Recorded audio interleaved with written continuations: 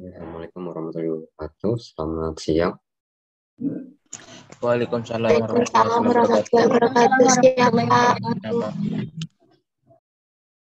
Jadi hari ini kita masuk pertemuan ke-7. Ini pertemuan ke-7 ini ada dua materi ya saya jelaskan. Yang Pertama ini saya beri nama 7A gitu ya, 7A, 7B gitu ya.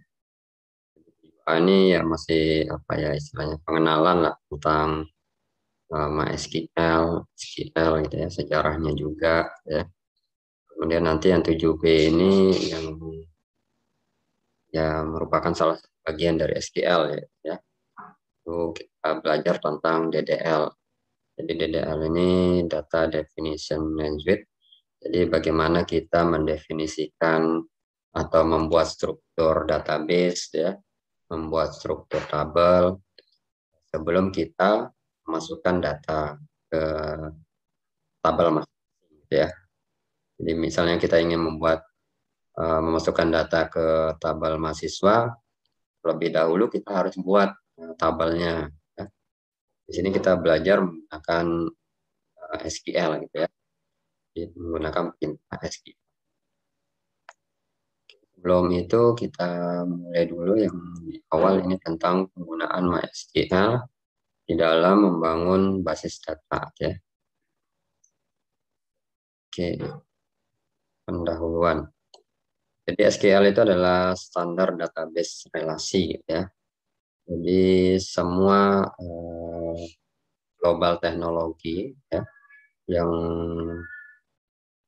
memiliki yang mempunyai database masing-masing gitu ya, ke DBMS masing-masing MySQL, Oracle gitu ya. Seperti Microsoft gitu ya.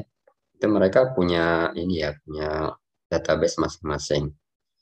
Itu uh, tapi dari global teknologi yang ada itu mereka uh, mengacu pada standar yang sama gitu ya. Standar yang sama ini adalah SQL yang dibuat oleh ANSI namanya ya jadi suatu asosiasi yang saya lupa kepanjangannya ANSI ya di asosiasi yang yang bertugas membuat standarisasi gitu ya. Jadi dalam penulisan perintah-perintah SQL itu ya kita harus menyesuaikan dengan format yang sudah dibuat oleh ANSI tersebut. Ya, ya seperti ya mirip seperti kata kita buat ini ya bahasa pemrograman ya coding. Nah itu kan kita harus menuliskan perintah codingan kita itu ya sesuai dengan format uh, penulisannya gitu ya. Nah, misalnya menulis cara menuliskan if else ya. Nah, gimana bentuknya? Ya, dari setiap bahasa kan berbeda-beda ya. Ada yang sama, ada yang berbeda sedikit ya mungkin nggak berbeda jauh gitu ya. Cara menulis else atau yang lainnya seperti itu. Jadi ya memiliki standar. Ya kalau kita tidak mengikuti standar ya nanti ya tidak akan bisa dibaca gitu ya. Ya nanti otomatis ya akan menghasilkan atau memunculkan perintah error gitu ya sini kemudian SQL itu adalah kepanjangan dari structure query ya jadi ya sebenarnya bukan bahasa pemrograman gitu ya ini bahasa untuk bahasa query yang ya yang untuk membantu orang gitu ya dalam mengakses database ya. Kemudian ada SQL ini structure English query ini. Jadi eh, keyword-keyword yang ada di SQL itu uh, pada dasarnya itu dia mengikuti ya eh, kata-kata uh, yang ada di dalam bahasa Inggris gitu ya. Ya misalnya uh, membuat tabel. Bahasa Inggris dari membuat apa gitu ya. Misalnya ya create seperti itu. Kemudian cara apa memodifikasi tabel gitu ya. Apa? Update. Nah seperti itu ya ya asal kita tahu apa ya makna dari bahasa Inggris ya saya rasa bisa ya. Ya nggak terlalu sulit juga menghafal keyword-keyword yang ada di uh, SQL untuk yang standar ya. Untuk keyword-keyword yang di SQL itu sangat banyak ya. Mungkin saya nggak pelajar nggak ajarkan semua. Jadi nanti bisa dipelajari sendiri dicari-cari uh, dokumentasinya gitu ya ini karena kadang-kadang setiap tahun itu ada saja penambahan dari keyword gitu ya. Dari SQL yang kira-kira ya tujuannya supaya pekerjaan kita itu menjadi lebih efektif dan efisien ya. Kemudian perintah untuk operasi database dalam bentuk nih ya, berupa satu perintah tunggal untuk satu operasi ditulis dalam satu baris ya. Jadi contohnya misalnya kalau SQL itu ya contoh sederhana misalnya. Jadi di tabel mahasiswa itu kan misalnya kalau Untram gitu ya. Data mahasiswanya ya yang aktif misalnya 32.000 siswa yang aktif. Nah, bagaimana cara kita mengambil data 32.000 mahasiswa tersebut dalam satu perintah SQL, dalam satu baris perintah SQL? Ya sederhana saja sebenarnya kita cukup menuliskan select ini select bintang ya. Nanti kita pelajari lebih detail nanti di pertemuan selanjutnya ya. Select bintang from tabel apa tabel mahasiswa. Nah cukup satu perintah seperti ini kita bisa mengambil semua data ya yang ada di tabel di perintahnya satu baris saja gitu ya. Jadi kita nggak perlu kalau manual ya kita harus copy apalagi kalau mau memfilter ya memfilter mungkin uh, dari mahasiswa data mahasiswa yang ada ini kita ingin memfilter gitu ya memfilter misalnya yang IPK-nya ya. ya itu lebih besar sama dengan misalnya 3,3 misalnya. 3,3. Yang pakai koma gitu ya, 3,3. Nanti ya, jadi uh, ya ini untuk uh, koma atau titik ini ya disesuaikan dengan datanya ya. Kalau di datanya pakai koma, ya, tulis koma gitu ya, pakai titik, ya tiga titik tiga gitu. Jadi ya, nah kalau kita melakukan filter ya, misalnya dari dua mahasiswa itu kita filter nih yang IPK-nya kita ingin mengambil data yang IPK-nya uh, eh, lebih besar sama dengan 3,3 ya. Nah kan kalau kita secara manual itu kan butuh waktu lama juga gitu ya. Ya lumayan juga ya, lebih enak ya lebih. Nah ini uh, kelebihan dari artinya jadi keunggulan dari SQL itu ya kita menuliskan perintah seperti ini kita nggak perlu menunggu membutuhkan waktu lama gitu ya. Ini saya ketik seperti ini sebentar aja langsung kita jalankan. Ya dalam hitungan detik langsung tampil semua data-data mahasiswa yang uh, eh, IPK-nya uh, eh, di atas dengan 3,3 ya jadi uh, enaknya menggunakan cuma nanti kita pelajari ya ini materi di DML ya manipulation language kalau ini hari ini kita belum pelajari yang pertama ini ya. Ya ya setelah UTS ya kita kita apa kita pelajari Oke, untuk uh, sebelum ini untuk mengingatkan kembali ya untuk TM-nya besok ya. Besok jam 10, jam 10 gitu ya. Diwajibkan semuanya hadir ya. Karena nanti ada pembagian kelompok juga untuk praktikumnya ya. Oke, lanjut. Kemudian sejarah SQL ya. Sejarah SQL Jadi pertama kali ini dibuat oleh IBM ya. Jadi IBM ini ya bukan uh, perusahaan yang terkenal ya, yang ya merek lab merek ya laptop belum ada ya, merek, merek PC gitu ya. Jadi komputer. Karena itu dulu ya banyak yang dari IBM ya buatan dari IBM ya termasuk media penyimpanan. Kalau dulu itu ada disket ya. Itu ada IBM juga yang buat. Nah, sekarang kan sudah mulai sudah banyak pesaingnya ya. Yang kalau dulu IBM ya masih berjaya gitu ya. Kemudian itu ya CSQL ya pertama kali dibuat oleh IBM dan digunakan di dalam uh, eh, DB2 ya database yang milik dari Kemudian pertama kali itu uh, ada asosiasi ya namanya ANSI ya. Ini yang lupa kepanjangan coba kita cari di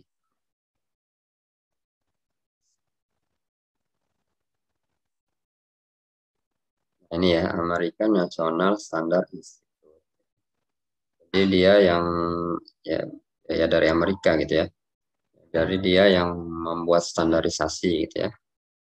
Nah, khusus di bagian ini SQL gitu ya. Di SQL itu pertama kali distandarisasi oleh ANSI di tahun 1986 jadi sering dikenal juga dengan ANSI atau SQL 86 gitu ya. Nah, kemudian ada perbaikan lagi standarisasinya. Di tahun 92 itu dikenal dengan SQL 92. Kemudian diperbaiki lagi ya standarisasinya di nama, tahun 1999 gitu ya. Namanya SQL 99. Jadi sampai sekarang ya eh,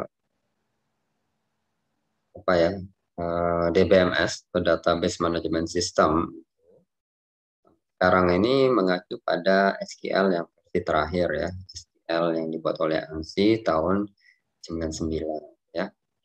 Di uh, eh, DBMS atau uh, Global Teknologi milik Oracle milik MySQL itu mengacu pada ini ya uh, mengacu pada 99 ya. Jadi uh, bisa dibayangkan karena sama-sama mengacu, nah, standarisasi atau keyword-keyword yang ada di SQL 99 itu ya bisa dijalankan di MySQL, di Oracle, atau di mana lagi ya, di uh, Postgre gitu ya. Nah itu macam-macam ya uh, database-nya. Itu uh, bisa dijalankan di mana. Yang penting sama-sama berasal dari standarisasi dari ANSI-nya ya. Nah, selebihnya itu ya ada kadang-kadang masing-masing global teknologi ini punya punya pemikiran yang berbeda. Mereka buat sendiri ya keyword-keyword SQL-nya di mana tujuan dari mereka itu untuk membuat itu kan pasti supaya lebih efektif lagi gitu ya dalam proses uh, melakukan query gitu ya seperti itu. Jadi yang dibuat oleh misalnya dibuat oleh MySQL itu tidak bisa diterapkan di Oracle atau sebaliknya yang dibuat di Oracle itu ya tidak bisa dibuat di MySQL atau yang lainnya. Ya.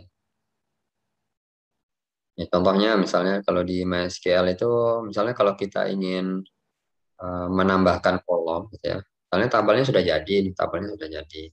Kita ingin menambahkan kolom gitu ya.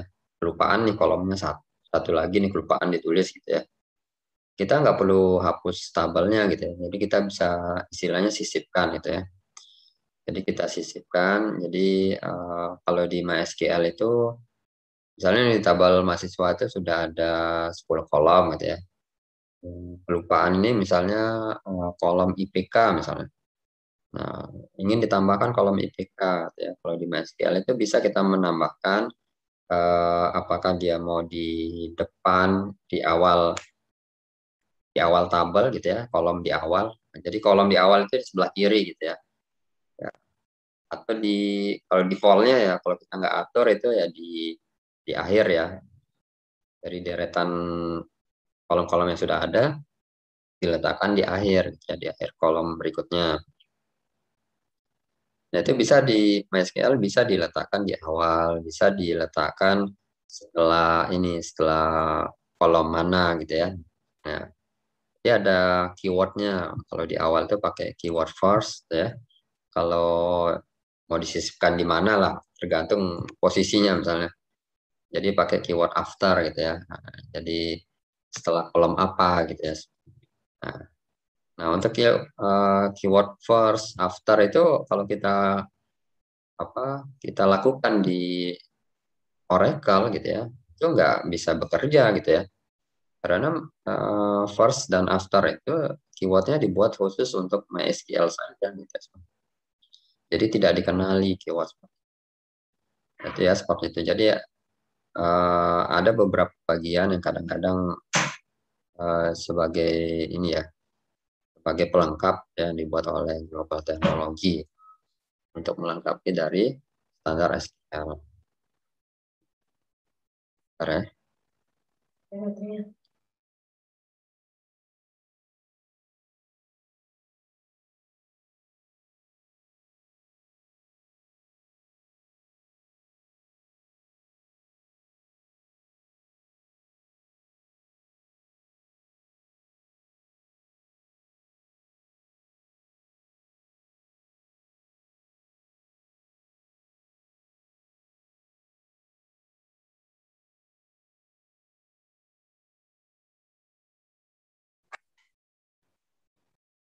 Oke, lanjut ya.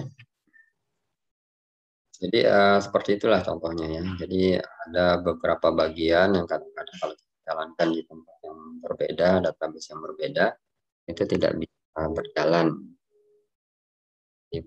Tiap database itu punya perintah tambahan SQL ya, yang khusus untuk mereka jalankan.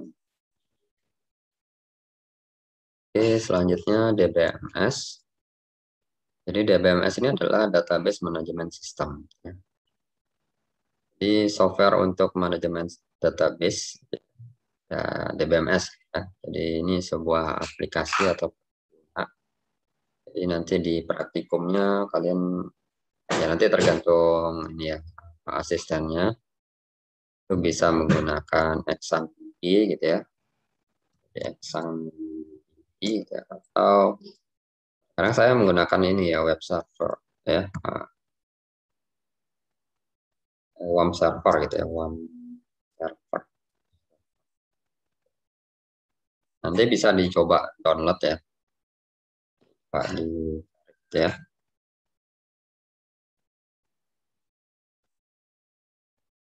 XMPP jadi nanti coba di download aja gitu ya. Gratis kok ya.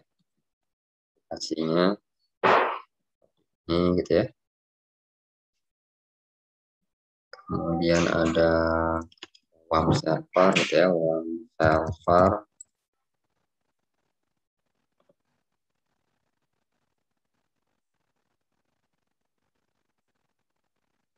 ini ya jadi uh, XMPP WAM server ini ya uh, perangkat lunak yang berisi satu bundle gitu ya. Satu bundle itu berisi banyak Eh, program ada Apache itu seperti Exam ini ada Apache ada MariaDB ada PHP gitu ya.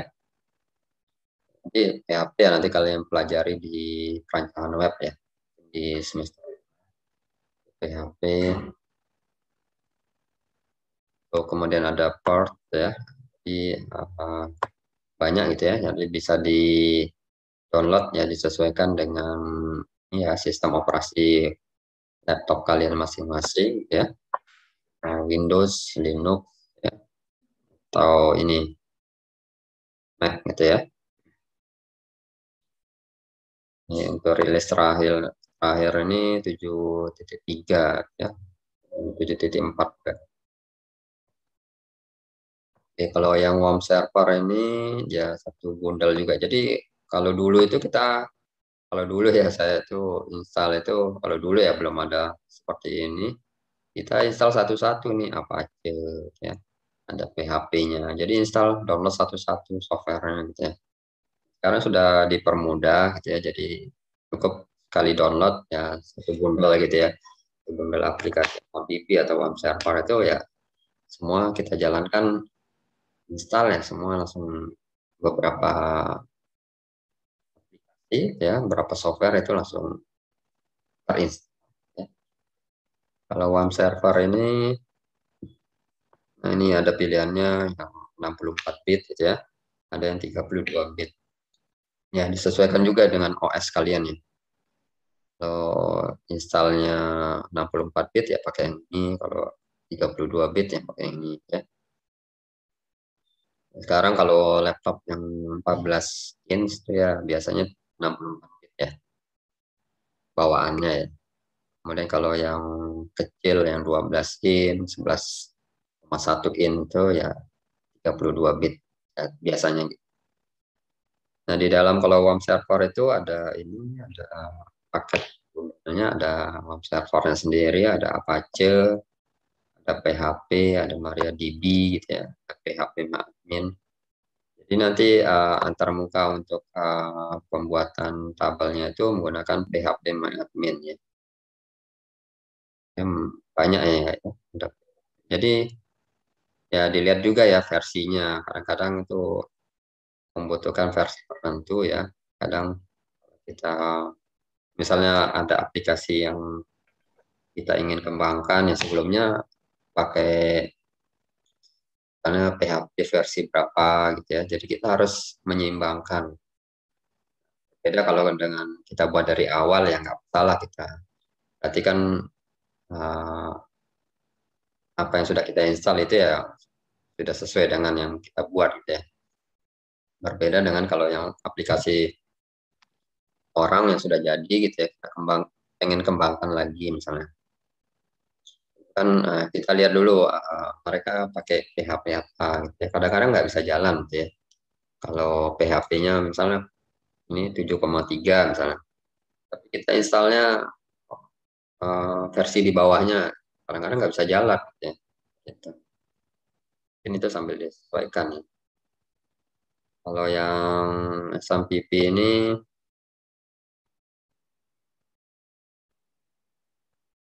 kalau lihat versinya di mana ya?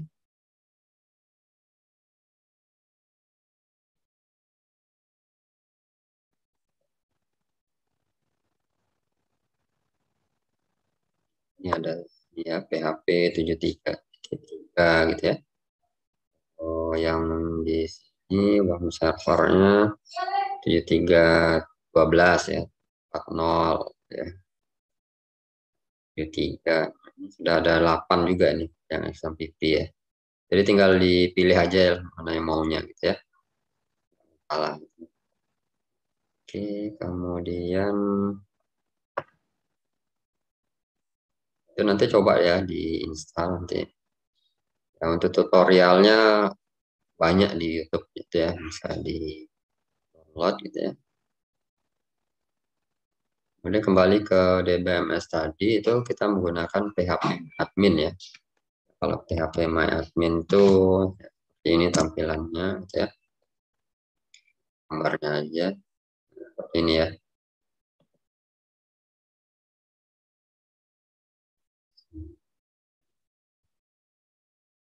Inilah gambarnya. Yang besar yang mana ini? Kita lihat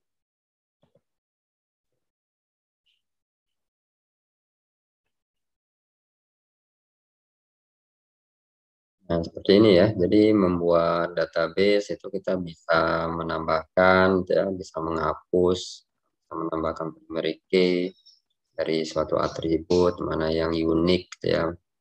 Bisa menambahkan indeks, kita merubahnya juga change, gitu ya. Jadi kita bisa menambahkan misalnya ini tambahkan satu kolom lagi gitu ya. Bisa ini bisa di akhir tabel atau di awal tabel ya, ada after ya. Itu jadi ini yang MySQL ya kalau kayak ya MyAdmin ini punya MySQL ya. Kalau Oracle itu beda lagi ya.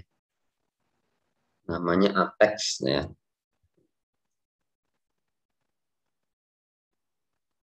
Nah, namanya Apex ya Oracle Application Express singkat Apex PAP X ya X.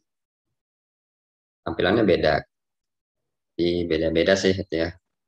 Uh, ya global teknologinya ya. Sama-sama ya bisa memasukkan ini ya tinggal klik-klik aja ya kalau di PHP admin dan di sini ada bagian SQL ini bisa kita menulis SQL ya di dalamnya nanti query gitu ya Nah, di GUI ini ya dimudahkan juga ya, kita tanpa membuat query, tanpa menggunakan query, kita bisa buat tabel gitu ya, bisa. Cuma kan nanti masalahnya kita kan ya jangan biasakan gitu ya, kita sebagai orang IT ya jangan biasakan uh, ya main klik-klik gitu ya.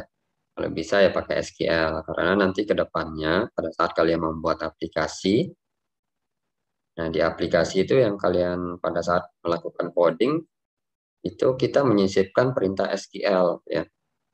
Nah, perintah SQL. Jadi tidak bisa di aplikasi kita klik-klik lagi ya PHP sama admin itu. Jadi nggak bisa. Jadi ya sebaiknya tetap kita belajar SQL ya. Dan untuk yang PHP admin ini ya ya aja sih untuk mempermudah aja ya. Tapi intinya tetap harus belajar SQL. Nah, itu yang akan kita sistemkan di dalam dengan aplikasi kita. Oke, lanjut. Jadi DBMS itu, itu ya, tema admin, oh, di bawaan dari ada di XMPP, web server, ya silakan diinstal mana-mana gitu pilih ya. Oracle beda lagi, namanya Apex ya.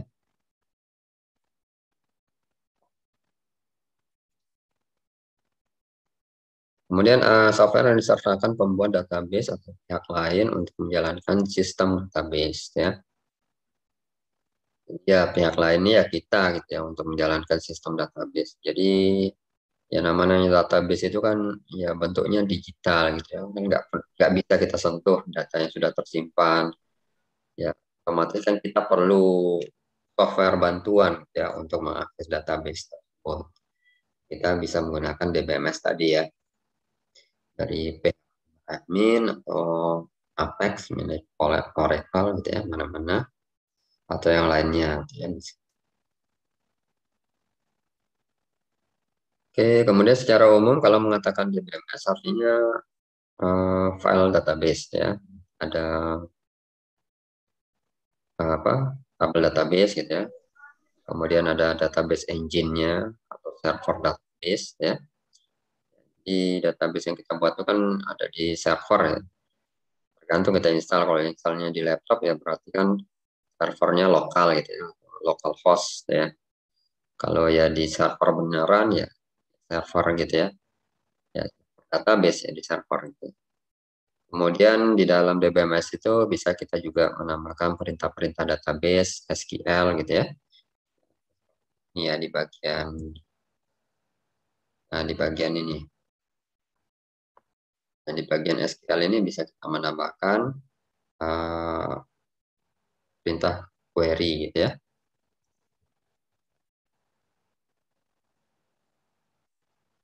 Nah, di bagian.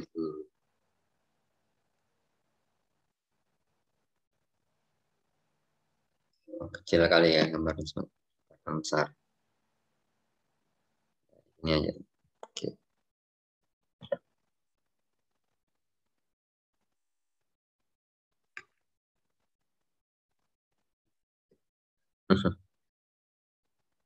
Besar juga ini 97.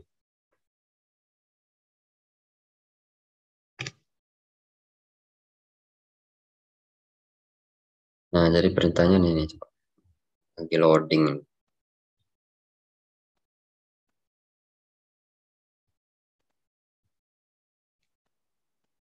Ini.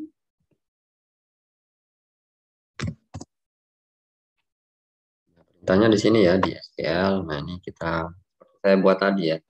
Select bintang from misalnya ini tabel WP comments ya where satu gitu ya misalnya. Jadi kita menuliskan query di sini. Jadi kita bisa coba nanti kita apa kita jalankan kita run gitu ya nanti keluar hasilnya di bawah ini biasanya ya hasil dari query kita ya. Jadi kalau mencoba-coba ya silakan di sini di query di sini di SQL sini ya. Coba-coba query yang kita buat ya. Jangan takut salah gitu ya karena nggak akan ini juga nggak akan mempengaruhi uh, database aslinya kecuali perintahnya pakai kayak hapus data hapus tabel ya jangan gitu ya jangan jangan mencoba gitu kalau perintah select ini kan hanya menampilkan, jadi dia tidak mempengaruhi tabel aslinya.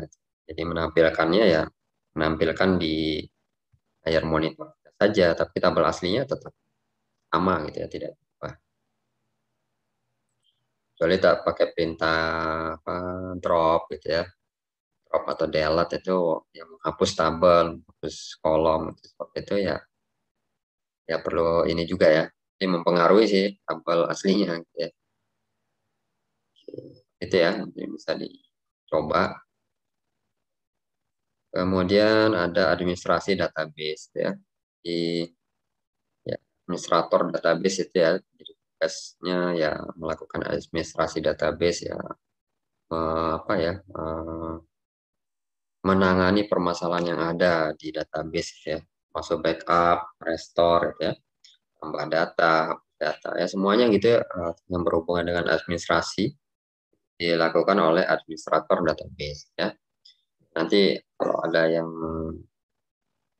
memiliki apa pekerjaan itu ya ingin jadi database administrator ya silakan gitu ya. Ya kerjaannya ya main query-query seperti ini gitu ya. Jadi ya menjaga supaya database itu selalu aman ya jadi database administrator ya. Bisa gaji gaji di Indonesia lumayan juga gitu ya. Database administrator untuk yang masih junior yang mungkin masih ya 4 juta 5 juta lah gitu ya.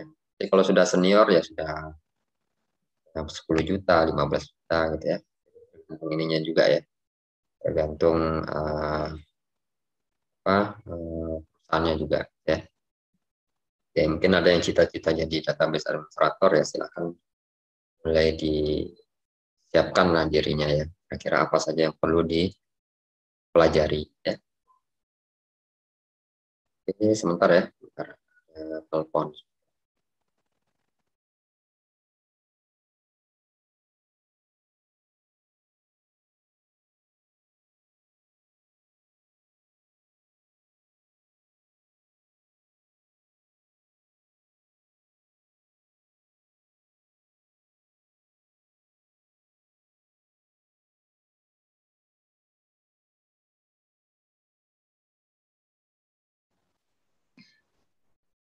Oke, lanjut ya.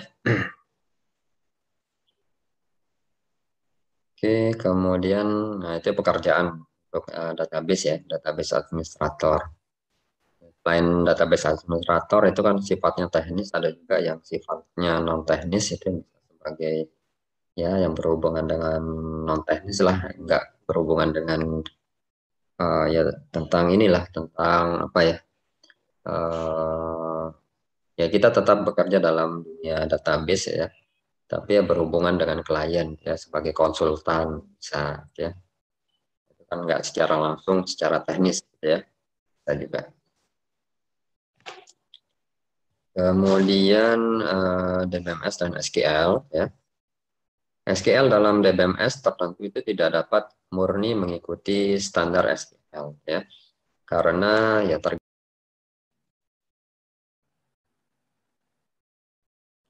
lanjut ya. Jadi DBMS dan SQL itu tergantung dari DBMS-nya ya. Jadi kemudian tergantung juga dari kemampuan kemampuan dari misalnya ya seperti MySQL atau yang lainnya Oracle itu punya ini ya. Jadi ada kemampuan dalam memproses data gitu ya.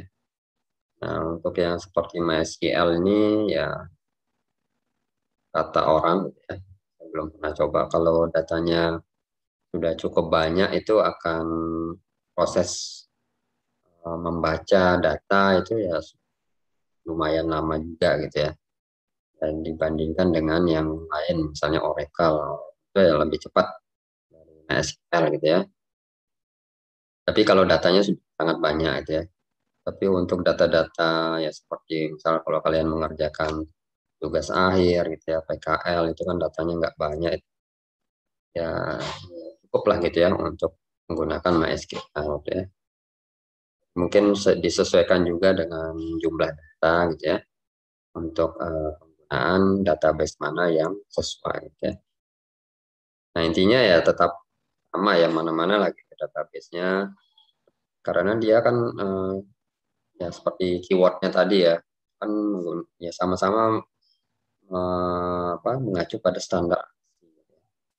Jadi yang menggunakan database mana ya kalau kita ingin belajar kembali itu ya nggak terlalu sulit ya Oracle sama MySQL ini banyak sekali kemiripannya.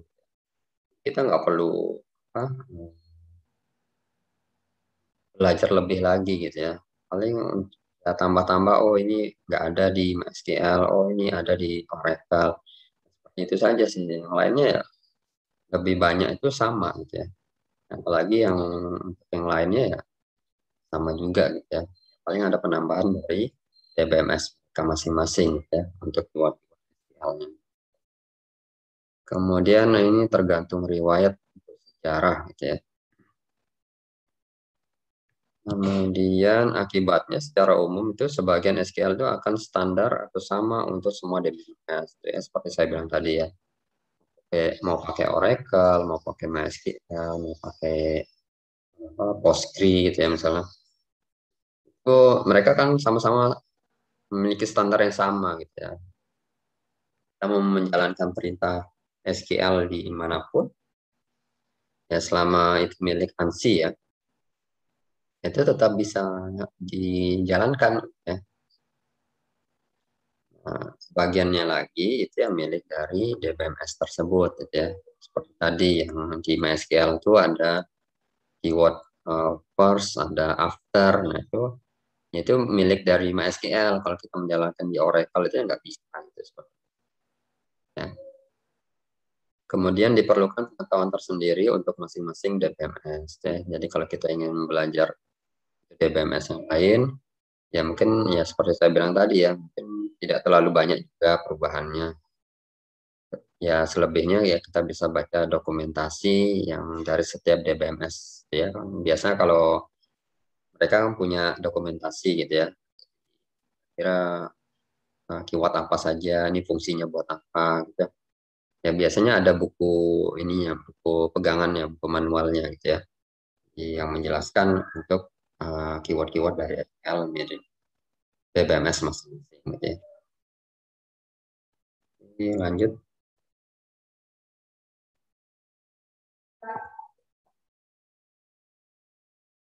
Kemudian apakah tidak bisa mengoperasikan database tanpa SQL ya? Nah, seperti saya bilang di awal tadi bisa gitu ya.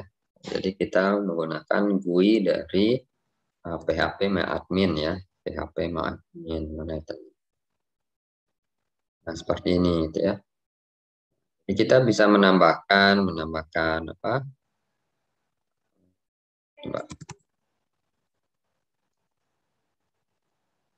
oh, gambarnya kan bisa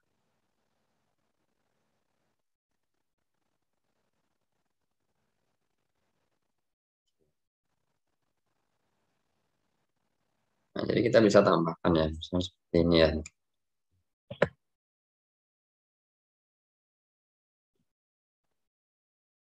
Seperti ini ya, jadi kita bisa menambahkan atribut gitu ya ya tinggal pilih aja primary, unik gitu ya. Ditambahkan kalau ini AI ini auto increment. Jadi auto increment itu ya berurut nomor satu, dua, tiga. Jadi secara otomatis oleh sistem database-nya gitu ya. Ya. Apakah dia sifatnya nol atau tidak ya dicetak saja gitu ya. Ya misalnya dibolehkan, misalnya name itu dibolehkan uh, kolomnya diisi kosong nggak gitu ya. Dibolehkan berisi nol nggak gitu ya seperti itu. Ya, kita membuat database-nya gitu ya. Jadi kalau NIM yang mungkin karena primary key tidak boleh kosong gitu ya. Nah, kalau nama, misalnya alamat, nama mungkin perlu ya kosong alamat ya eh tergantung kita juga ya. Mau bolehkan kosong silakan gitu ya nggak masalah. Itu namanya kan kita mendesain database ya. Jadi sesuai dengan keperluan aplikasi yang menggunakan database kita gitu ya seperti. Ya itu dengan klik-klik seperti ini bisa tanpa kita melakukan query seperti yang tadi. Gitu ya.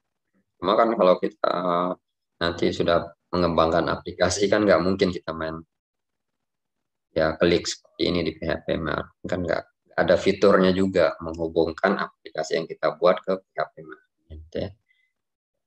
Untuk menghubungkannya ya salah satunya lewat SQL saja gitu ya. Untuk ke PHP admin ya nggak bisa.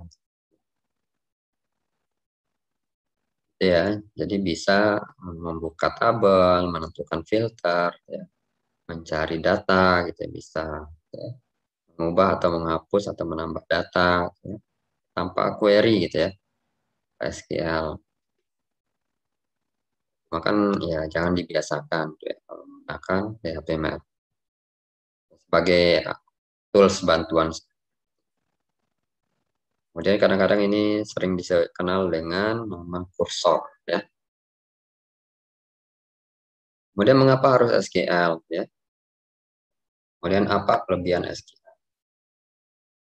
Ini SQL itu adalah perintah untuk berbentuk, yang berbentuk satu perintah untuk satu proses atau operasi database. Lebih mudah memberikan perintah itu dibandingkan harus mengoperasikan database ya. Misalnya dengan cara navigasi tadi di navigasi yang ini ya. Lakukan navigasi. Jadi ya, kita klik-klik gitu ya. Klik mana navigasi gitu. karena kalau kita tulis SQL gitu ya seperti tadi ya perintah tadi yang saya buat tadi misalnya. Ini ya hilang ya karena mati ya tadi kan perintah select bintang from mahasiswa gitu ya. Ya cukup satu baris seperti itu ya langsung uh, data yang kita inginkan tertampil ya dalam hitungan detik. Daripada kita apa melakukan navigasi kita sortir masing-masing misalnya yang tadi yang IPK-nya lebih besar sama dengan 3,3 dari 32 ribu mahasiswa kan ya lumayan juga butuh waktu juga gitu ya itu ya jadi itu kelebihan dari CL.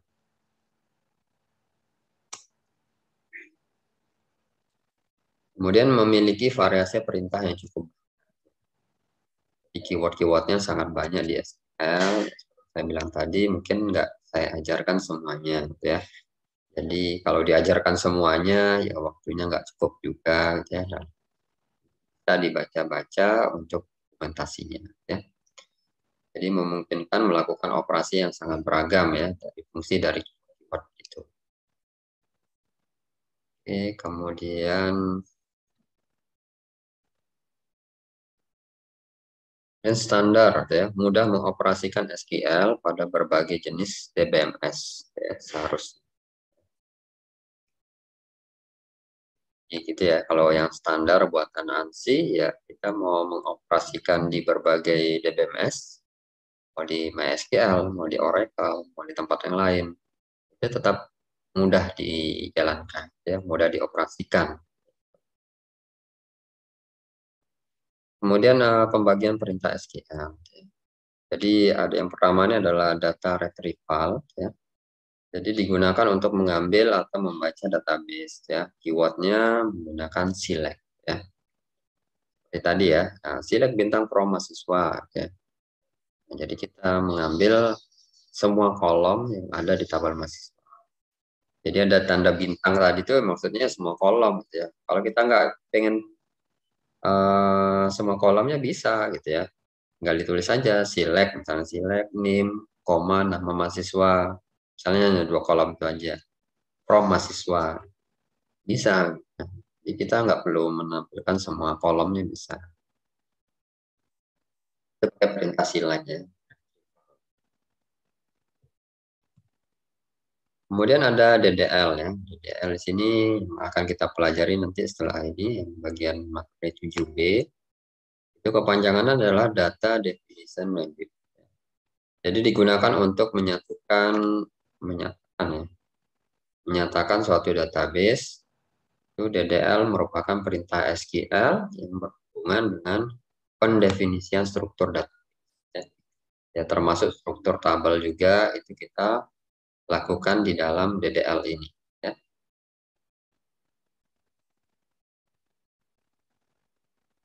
Kemudian perintahnya adalah ada create, ya, ada alter table, ada drop, ada rename, ada truncate. Ada yang lainnya juga gitu ya. Kemudian ada DML lagi, satu lagi. DML ini nanti di pertemuan berikutnya ya. 8 setelah UTS itu data manipulation language digunakan untuk mengubah database ya. Jadi DML di sini merupakan perintah SQL yang berhubungan dengan manipulasi atau pengolahan data ya atau oh ini ya record dalam tabel. Perintahnya adalah insert, update, delete, ada merge ya. Kemudian, nah kalau di DML ini ya otomatis kita harus buat dulu DDR-nya ya, kita harus buat DDR-nya. Ya bagaimana mungkin kita memanipulasi data, misalnya memanipulasi data mahasiswa, sedangkan tabelnya, tabel mahasiswanya belum kita buat, nah, kan jadi aneh kan? Otomatis kan kita harus buat DDL-nya dulu ya, struktur tabelnya, struktur database-nya, ya. Di struktur ini maksudnya ya kita merancang ya seperti uh, kolomnya, setiap kolom tuh tipe datanya apa, panjang karakternya apa, mana yang primary key, mana yang foreign key, ya, itu semua diatur di DDL. Ya. Nah, jadi ya kalau kita sudah membuat IRD gitu ya, rancangan IR diagram sebelumnya, itu yang itu yang akan kita buatkan di dalam DDL-nya. Kemudian berikutnya ada transaction control lanjut atau biasa disingkat juga dengan TCL ya. Nah, ini DDL, DML ya. Ini ada TCL ya. Itu. Ini ada perintahnya ada commit, ada rollback, ada save point ya. Jadi commit ini ya kita menyelesaikan perintah yang sudah kita buat, query yang sudah kita buat. Kita setuju kalau query-nya sudah benar ya kita komit ya. Setelah kita komit itu kita tidak bisa uh, mengembalikan ke kondisi sebelumnya gitu ya. Jadi sudah misalnya kita ubah datanya misalnya komit langsung gitu ya. Berarti kita setuju datanya berubah Nah, kalau tidak ingin ya kita bisa menggunakan rollback ya di rollback ini ya kita kembali ke bagian tertentu gitu ya. Ya sebenarnya sama juga seperti save point ini.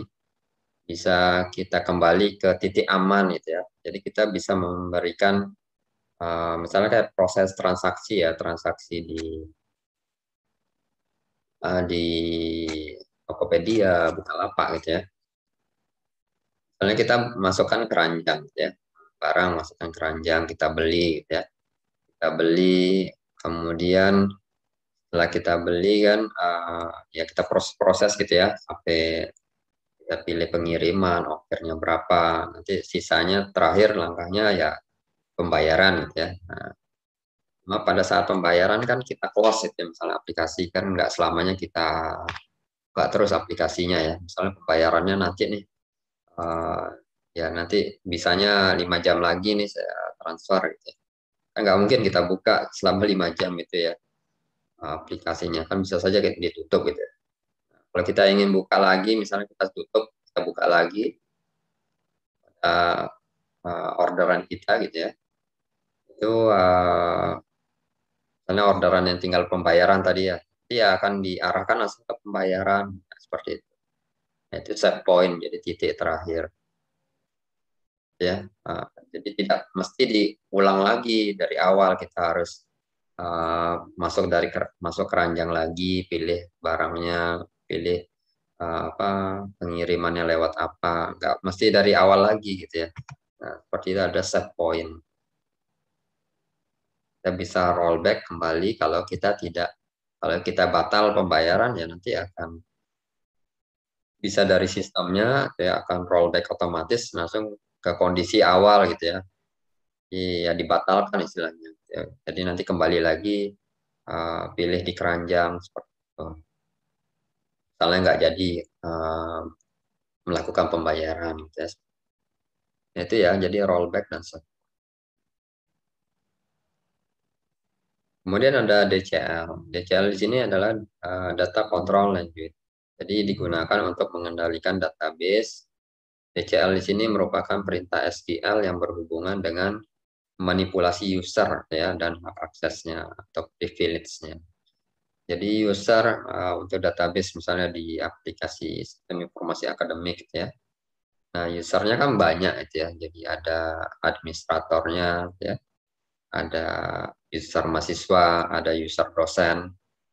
Nah, untuk user mahasiswa, dosen misalnya itu nggak nggak sembarangan dia bisa uh, mengakses uh, semua tabel yang ada di database dari sistem informasi akademik.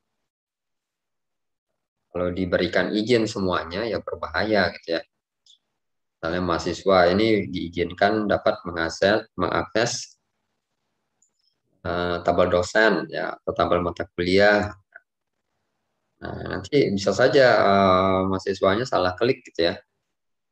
Jadi uh, suatu mata kuliah gitu ya uh, nggak sengaja terhapus gitu ya di delete. Nah, bisa saja terjadi seperti itu. Nah, itu jadi mencegah seperti itu. Jadi hanya orang-orang yang memiliki izin yang bisa mengakses uh, database tersebut. Misalnya kalau seorang admin ya jadi administratornya yang memberikan izin ke user tertentu, dia bisa menggunakan grant gitu ya. Jadi menggunakan perintah grant keyword grant. Jadi diizinkan, misalnya uh, saya admin ya, saya mengizinkan um, user dari mahasiswa seorang mahasiswa, jadi tidak semua mahasiswa gitu ya. Jadi mahasiswa dengan apa dengan akun apa gitu ya dia bisa mengakses misalnya tabel mata kuliah misalnya. Itu bisa diatur pakai grant. Bisa juga diatur misalnya dia hanya bisa melakukan uh, apa, perintah select aja gitu ya. Dia tidak bisa melakukan perintah update, tidak bisa melakukan perintah drop. Jadi dia hanya bisa mengambil data saja gitu ya. Pakai perintah select tadi gitu ya. Dan sebaliknya ada revoke. Revoke ini untuk mencabut ya, izin dari yang kita berikan hak aksesnya tadi. Ya. Itu pakai revoke. Oke, kemudian pemilihan tipe tabel di dalam MySQL. Ya, salah satu kelebihan dari MySQL adalah Anda dapat mendefinisikan tipe untuk tiap tabel. Ya. Jadi di dalam MySQL itu ada pilihan InnoDB gitu ya. Kita lihat. Ini nggak kelihatan nih. Nah, di bagian sini ya ada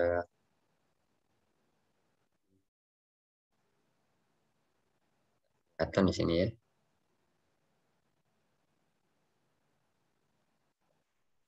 Ini coba.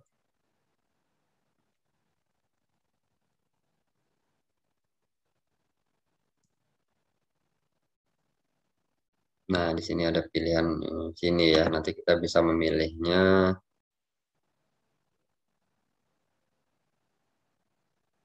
Nah, di sini bagian di sini ya. Setelah kita mengisi sebenarnya di bagian sini ini ada di bagian bawahnya ini ada pilihan InnoDB gitu ya.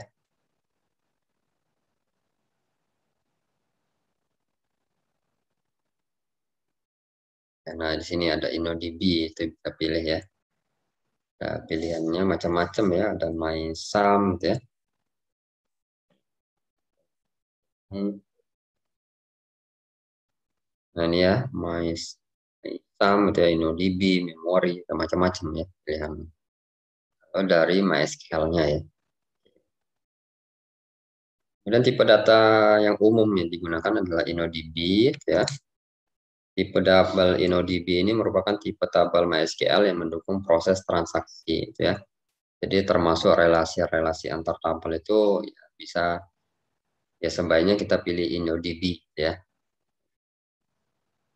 Kemudian tipe ini memiliki beberapa keunggulan, antara lain ya mendukung transaksi antar tabel ya.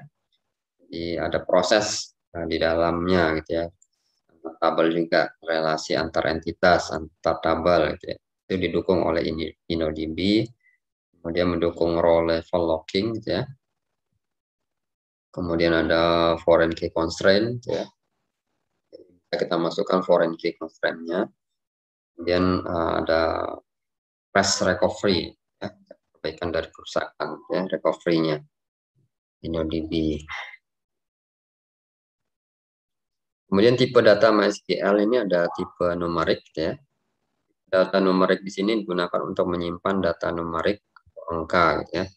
Ciri utama data numerik itu adalah suatu data yang memungkinkan untuk uh, dikenai operasi aritmetika, ya bisa penjumlahan, ya, perangan, perkalian, pembagian. itu. Kalau menggunakan string atau karakter kan susah ya kalau kita melakukan operasi aritmatika. A ditambah B, A tambah C. Jadi susah apa artinya gitu ya, nggak ada maksud, nggak ada hasilnya A tambah D. Nggak bisa dihitung gitu ya. Kecuali dia berupa tipe numerik.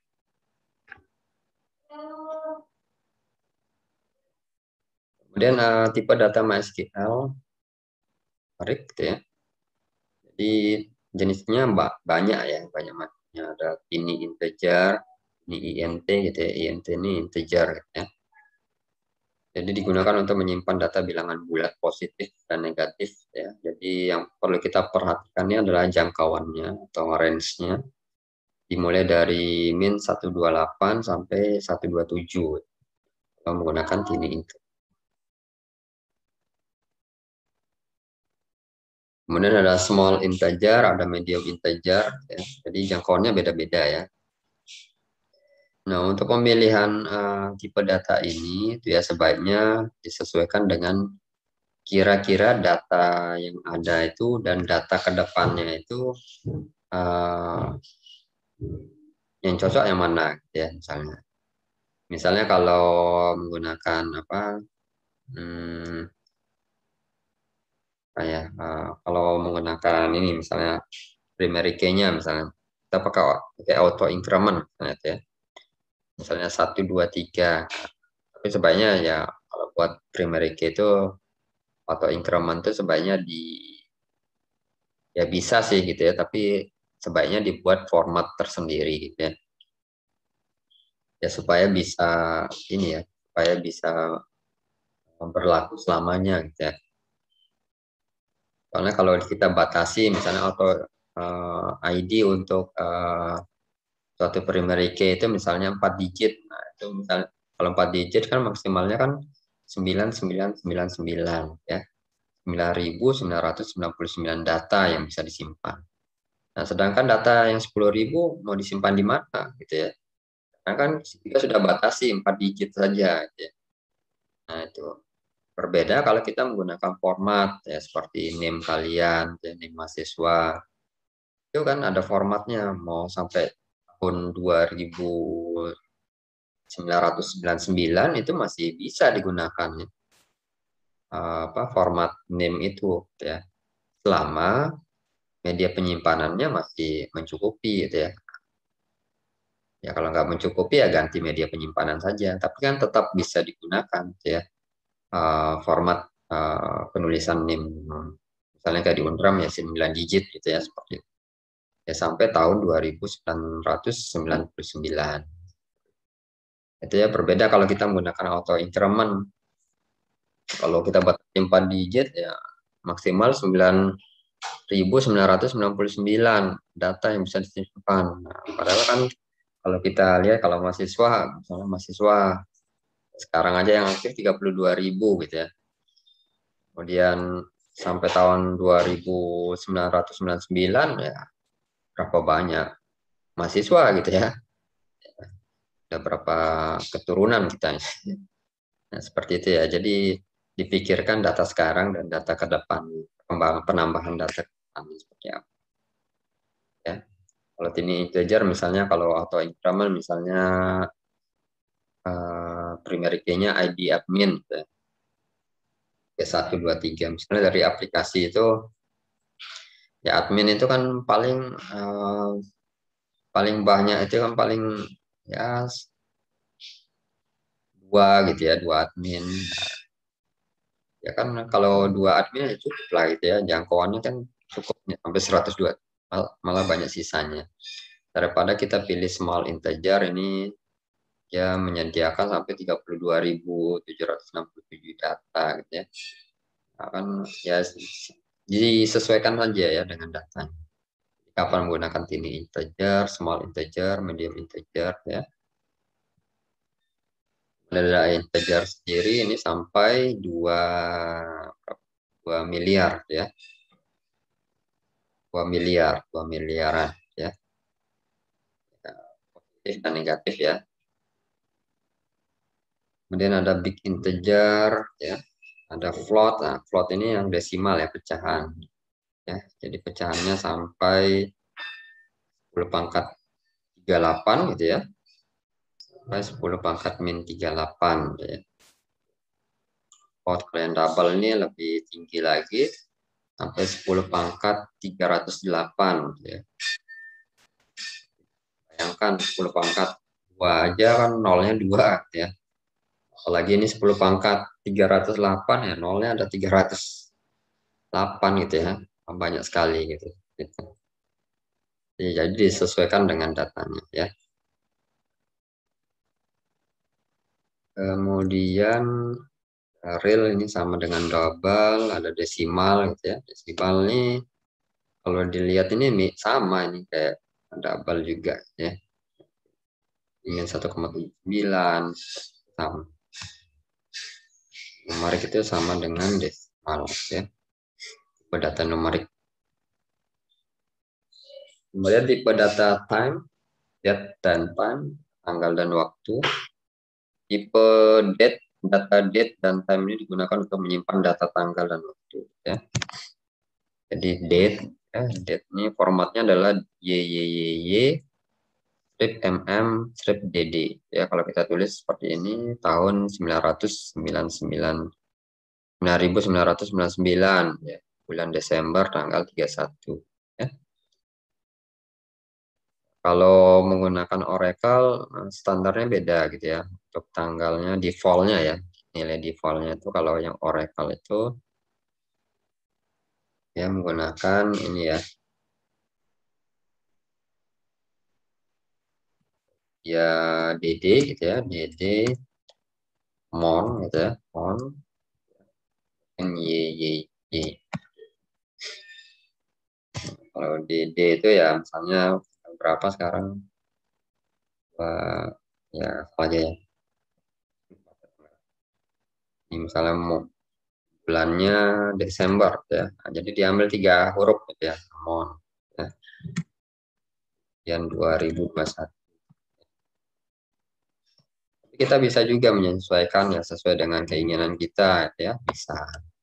Itu nanti silahkan pelajari mungkin saya nggak ajarkan gitu ya. Juga kita atur misalnya mon ya. Jadi di sini uh, gitu ya. Tanpa spasi eh, tanpa strip bisa gitu ya. Nah,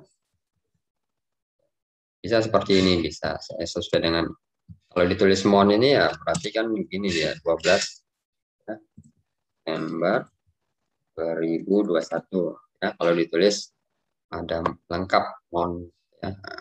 Mon MON aja ya. Singkatannya tiga huruf aja. Oke, gitu ya. Nanti bisa diatur ya, sesuai dengan kebutuhan. Tapi untuk standarnya ya seperti ini ya. Kalau MySQL ya y y y y mm dd gitu ya. ya kalau Oracle dd strip mon strip yyyy. Oke, kalau time ya, time juga ya formatnya ya ini ya sama sebenarnya ya. Ada uh, jam ya, menit dan detik ya. Ada juga yang bisa milidetik ya. Ada timestamp namanya. Timestamp itu milidetik ya. Sampai ya lebih milidetik. Biasanya penggunaan kita menyimpan data date dan time ini penting ya tergantung dari kasusnya ya. Misalnya ini dikembangkan aplikasi kita buat ini misalnya atau database yang kita buat ini untuk uh, apa uh, apa namanya uh, ini uh, saham ini ya fluktuasi saham gitu ya. Uh, kalau main forex itu ya ada grafik-grafiknya gitu ya. Jadi ya beberapa detik itu kan pasti berubah naik turun naik turun. Mungkin sekarang juga banyak juga iklan ya di di internet ya di HP kalau itu ada ya main forex gitu ya. Jadi grafik-grafik. Setiap saat itu ya berubah gitu ya bisa naik naik turun gitu ya tergantung dari apa, sentimen dari suatu negara. Nah, apa juga ya. Sebaiknya jangan di kalau nggak punya ilmunya nggak usah main forex ya. Capek mata. Oke, kemudian tipe yang lain kalau mau digabungkan bisa juga ada time ya. Jadi di dalam satu kolom itu langsung berisi tanggal dan waktunya gitu ya. Nah, nah itu ya jadi perubahan uh, harga gitu ya seperti tadi ya saham itu di jam berapa detik ke berapa sampai mili detik itu terekam gitu ya oleh aplikasi yang di database jadi bisa yang berbeda halnya kalau aktivitas seperti uh, melakukan apa update data di data tabel mahasiswa kan ya nggak nggak perlu lah sampai waktunya juga aja ya. Ya mungkin ya kalau waktu ya mungkin bisa saja silakan gitu ya. Tanggalnya kapan bisa gitu ya. Ya nggak perlu sampai milih detik juga gitu ya. Tergantung kasusnya juga mau digunakan di mana ya. kemudian ada years gitu ya untuk mengambil tahun ya bisa. Kemudian ada tipe string ada teks ya. Ada char ya. Char di sini adalah tipe data string yang ukurannya tetap. Jadi misalnya char 10 gitu ya. Jadi kita atur panjang datanya maksimal 10 karakter. Bisa juga kita pakai varchar gitu ya. Varchar ini kepanjangannya adalah variable karakter ya. Namanya variable itu bisa berubah-ubah gitu ya panjangnya. Sifatnya dinamis variabel. Jadi seperti nama mahasiswa itu ya jangan kita ya sebaiknya jangan pakai char gitu ya. Sebaiknya pakai varchar ya. Karena ya supaya misalnya ya misalnya uh, mahasiswa satu nih namanya 20 karakter mahasiswa dua namanya 30 karakter. Itu kan berbeda. Misalnya mahasiswa tadi kan mahasiswa satu tadi kan 20 karakter. Nah, kan ada kita atur misal panjang karakternya 30 misalnya 30 karakter. Sisanya kan 10 karakter itu ya bisa digunakan oleh uh, penyimpanan data yang lain ya. Berbeda untuk yang karakter yang ini karena ukurannya tetap tadi kan 20 karakter untuk nama mahasiswa satu, sisanya kan 10 karakter. Nah, itu tidak akan bisa digunakan untuk menyimpan data yang lain karakter. Ini nanti akan mempengaruhi media penyimpanan gitu ya. Media penyimpanan ya otomatis kalau pakai karakter semua untuk ukurannya tetap padahal datanya bisa berbeda-beda nilainya gitu ya panjang karakternya. Nah, itu ke depannya itu akan cepat ini ya uh, menjadi pemborosan media penyimpan. Ya. Itu perlu dipikirkan juga gitu ya. Ya saran saya pakai varchar variable karakter ya. Selain itu dilihat juga ya ini untuk uh, jangkauannya beda-beda ya. Ada tiny text ya. Ada text juga itu. Ya sama juga ya menyimpan data text. ada medium text, ada long text. Ini banyak. Jadi nanti yang selain yang saya tampilkan ini banyak juga. Nanti bisa dibaca juga ya di, di dokumentasi. Kemudian tipe block, ya, block atau binary large object atau biner ini tipe data block ini digunakan untuk menyimpan data biner ya. Tipe ini biasanya digunakan untuk menyimpan kode-kode biner dari suatu file atau objek ya. Jadi uh, dari gambar gitu ya. Jadi bisa kita ini kita simpan gitu ya. Jadi kalau di pelajaran ini kuliah yang berbeda itu misalnya pengolahan citra digital misalnya ya. Kan gambar itu sebenarnya terdiri dari pixel-pixel gitu ya, pixel-pixel yang bisa kita ubah ke dalam nilai biner ya. 1010 gitu ya. Jadi posisinya seperti nilai-nilai seperti itu. Jadi susunannya seperti itu ya, pixel-pixel. Nah, itu uh, bisa disimpan menggunakan tipe blok ya kalau gambar. Kemudian ada bit ya, menggunakan untuk menyimpan data biner. Ada tiny block ya, ada block Nah, intinya dilihat jangkauannya ya, jangkauannya ada medium block, ada long block seperti itu. Oke, kemudian tipe data lainnya di MySQL juga menyediakan tipe data yang lain ya. Tipe data di MySQL mungkin akan terus bertambah ya seiring seiring dengan perkembangan versi MySQL. Jadi setiap tahunnya itu ya pasti ada penambahan juga gitu ya tipe datanya. Nah, termasuk keyword-keyword SQL juga penambahan data ya. Terus setiap saat Kemudian ada enumerasi ya. Enumerasi ini adalah kumpulan data ya. Jadi, jadi kita bisa ini ya apa kumpulan data laki-laki gitu ya. Laki-laki perempuan seperti itu. Itu bisa menggunakan enumerasi. Kemudian ada set ya. Ngasih himpunan data. Oke. Lanjut ya materi berikutnya DDL. Aja pengantar DDL. Jadi DDL di sini adalah data definition lanjut itu menggambarkan struktur basis data secara keseluruhan ya. Jadi yang akan kita pelajari nanti di DDL ini adalah membuat basis data baru, menghapus basis data ya. Kemudian membuat tabel baru, kemudian menghapus tabel, kemudian mengubah nama tabel, kemudian mengubah struktur tabel. Ya. Itu masuk ke dalam perintah DDL. Kemudian ada sintak SQL untuk melihat membuat basis data baru. Membuat itu seperti saya bilang tadi, apa bahasa Inggrisnya create, ya. Buatnya create, ya create database, nama databasenya, DB name-nya ini bebas mau diisi ya. Misalnya di sini kita ingin membuat database namanya tenis ya. Jadi ya tinggal ditulis saja create database tenis ya. Jadi ya sederhana gitu ya untuk uh, perintah create database.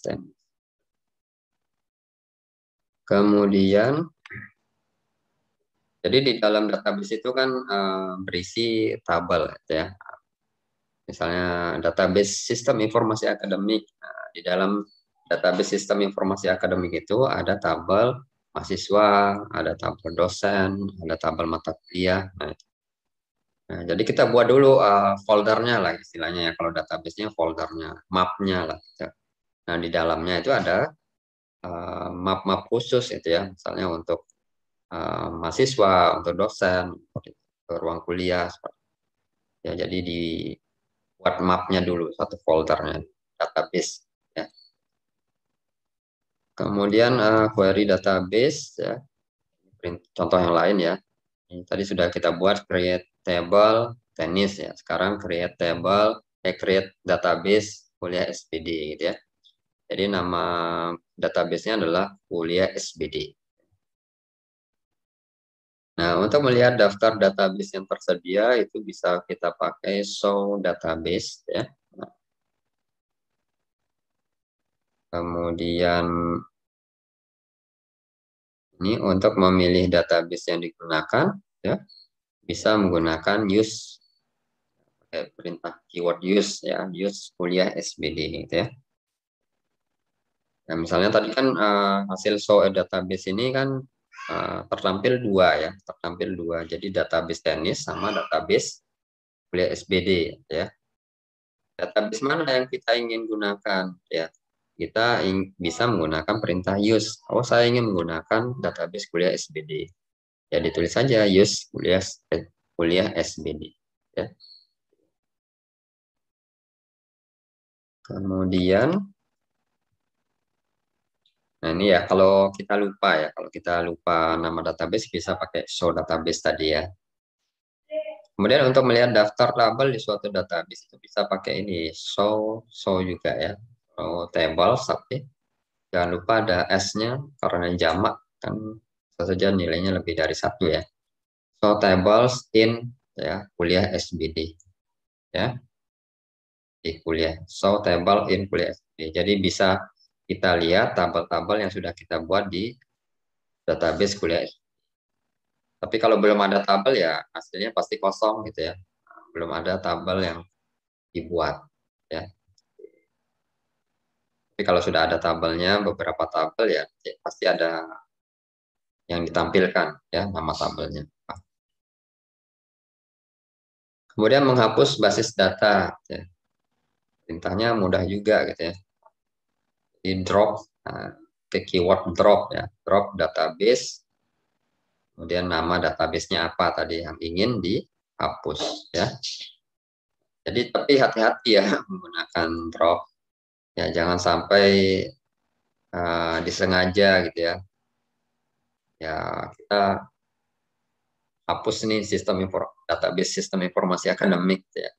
Ya pakai perintah ini saja satu baris drop database karena namanya sistem informasi akademik. Ya. Hati-hati ya kalau main hapus-hapus seperti ini karena data itu kan ya sulit kita dapatkan ya. Kalau mau menghapus tuh ya urusan mudah gitu ya tapi untuk mendapatkan data itu kan sulit gitu ya. Kemudian contohnya di sini adalah yang tadi ya kita sudah buat database tenis di drop database tenis. Jadi terhapus. Kemudian untuk yang drop ini sebenarnya bisa kita balikkan lagi ya. Biasanya seperti kita delete file gitu ya, seperti kita delete file di Windows gitu ya. Nah, delete file itu kan uh, biasanya masuk ke recycle bin ya. Di database ini punya recycle bin ya. Jadi bisa kita mengambil kembali data yang, yang sudah terhapus tersebut gitu ya. Di recycle bin bisa. Kalau menggunakan drop ya. Nah, tapi ada perintah lain yang yang tidak uh, tidak mampir dulu gitu ya, tidak mampir dulu ke recycle bin. Jadi dia langsung terhapus permanen gitu.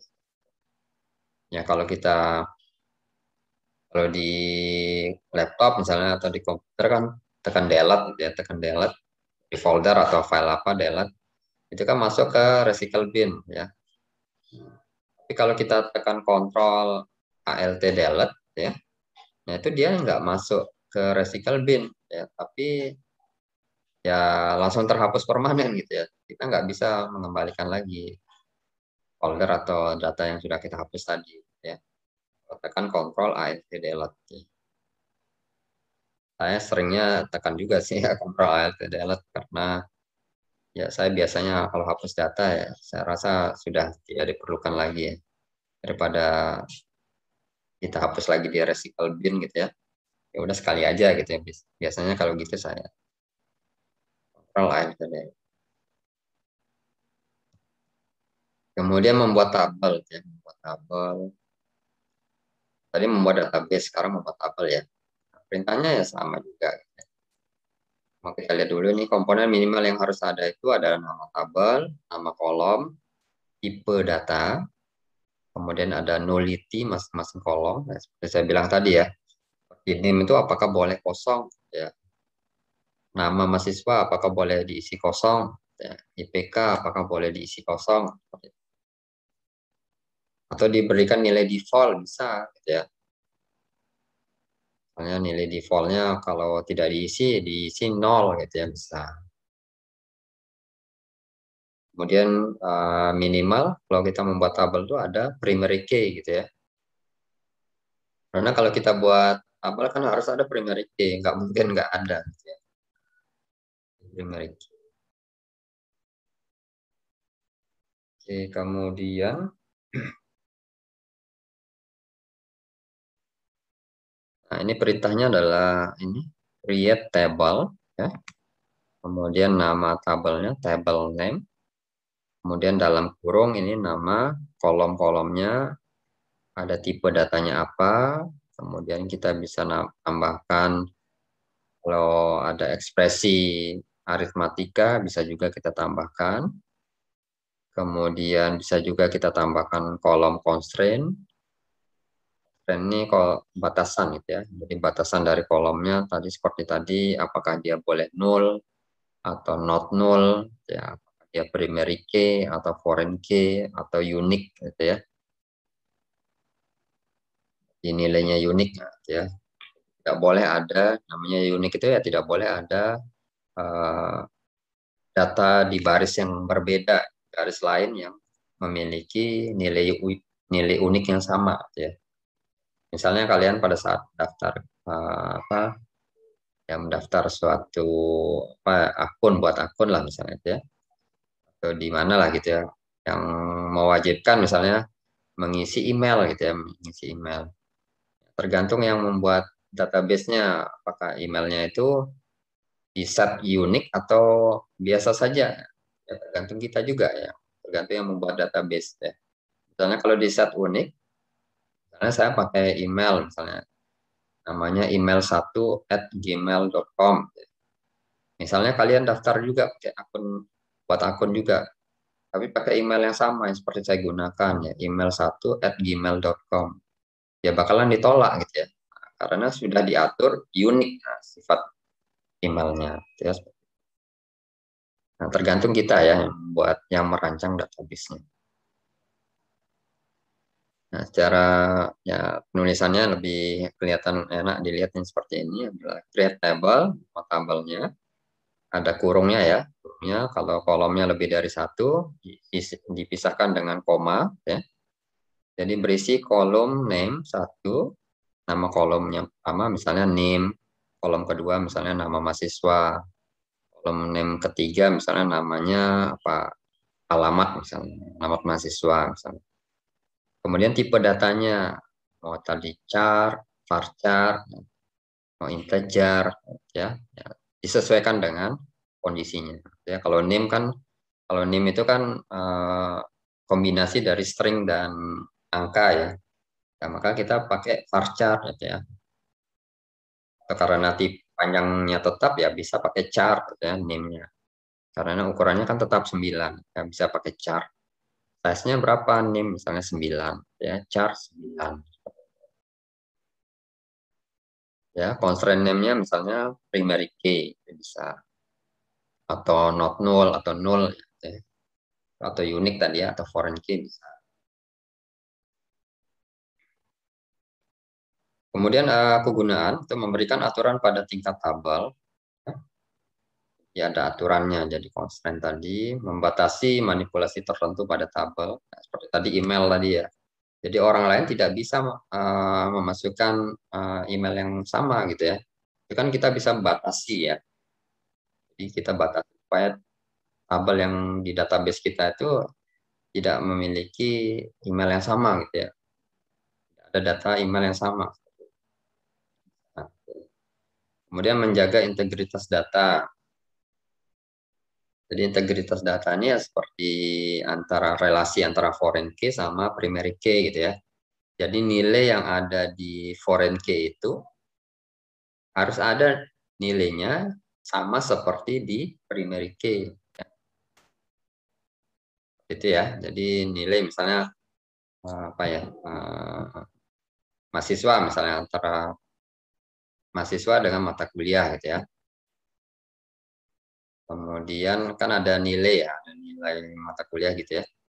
Nah, kombinasi antara mahasiswa gitu ya. Itu misal mahasiswa F1D 019 gitu ya. 020 ya, 020 001 gitu ya. Itu di tabel mahasiswa ada NIM itu.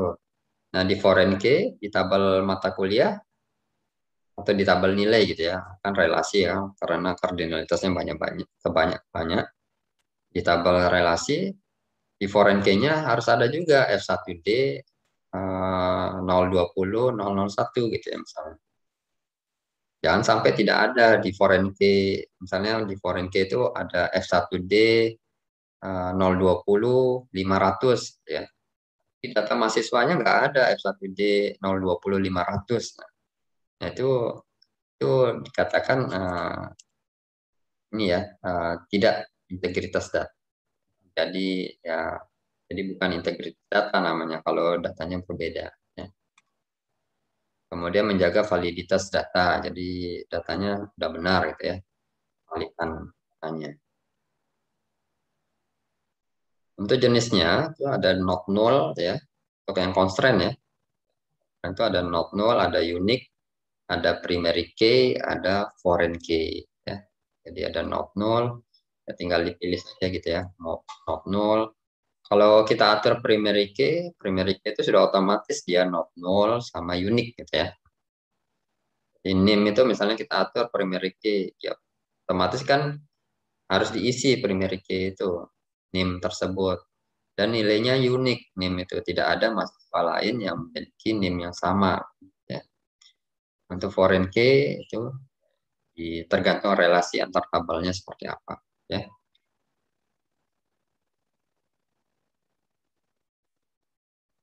Kemudian uh, berikutnya, kalau not null itu ya suatu kolom harus memiliki nilai kos, nilai tertentu ya. Jadi tidak boleh kosong. Itu not null, tidak boleh artinya ya. Kalau diisi nol ya boleh gitu. Boleh. Kemudian unik satu kolom itu harus tidak boleh memiliki nilai yang sama ya, tetapi boleh nol ya. Jadi nol ini tidak dianggap uh, memiliki data ya nol. Jadi dibedakan antara nol dengan string kosong atau spasi itu beda ya. Jadi nol itu ya tidak ada gitu ya, tidak ada data gitu. Kemudian uh, untuk penulisan uniknya itu bisa ditulis di kolom yang sejajar dengan nama kolomnya ya. Misalnya tadi email ya email. Jadi penulisan uniknya bisa ditulis sejajar dengan email ya. Nah, kalau tadi sejajar dengan kolom name 1 misalnya atau kolom name 2 ditulis unik ya sejajar bisa atau diletakkan di bawahnya bisa ya. Jadi kita definisikan dulu semua kolomnya ya. Baru nanti di bagian akhir bisa juga. Nanti ya di bagian akhir kita bisa tambahkan sebelum tutup kurung ya tambahkan constraint.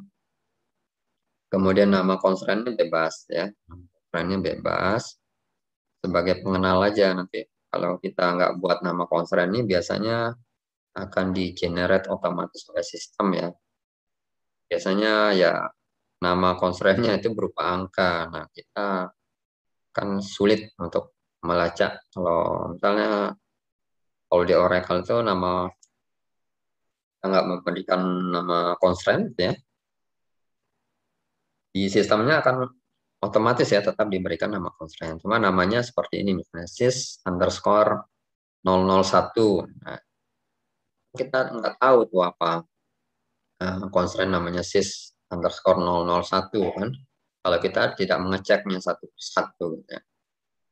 Beda kalau kita sudah membuat nama misalnya constraint misalnya apa uh, email gitu ya, email kalau unik email underscore UK gitu ya. Unik bisa oh ini uh, email ini nilainya unik oh namanya email underscore UK gitu ya nah, Nanti akan mempermudah juga kalau kita ingin menghapus constraint, ya, kalau kita memberikan nama constraint. Ya. Kemudian primary key, ya, primary key ya sama seperti unik gitu ya, bisa disimpan di ini ya, di antara kolomnya, di baris yang sama dengan kolomnya atau di bawah ya, di bawah definisi semua kolomnya ya, primary key. Kalau yang foreign key ini ada tambahan, ada keyword reference ya. Jadi reference ini dia mengacu ke tabel mana ya.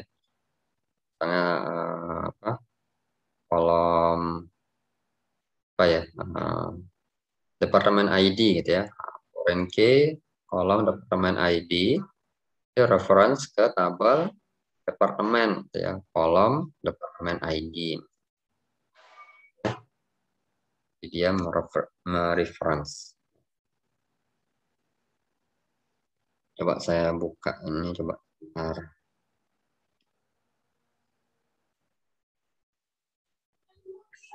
Saya, saya coba Oracle aja ya.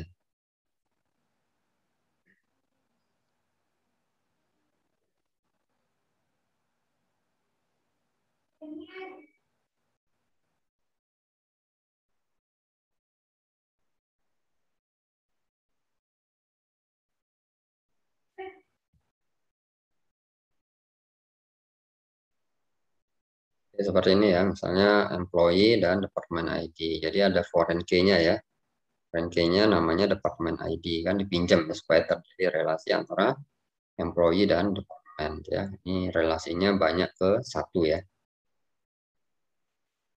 Untuk um,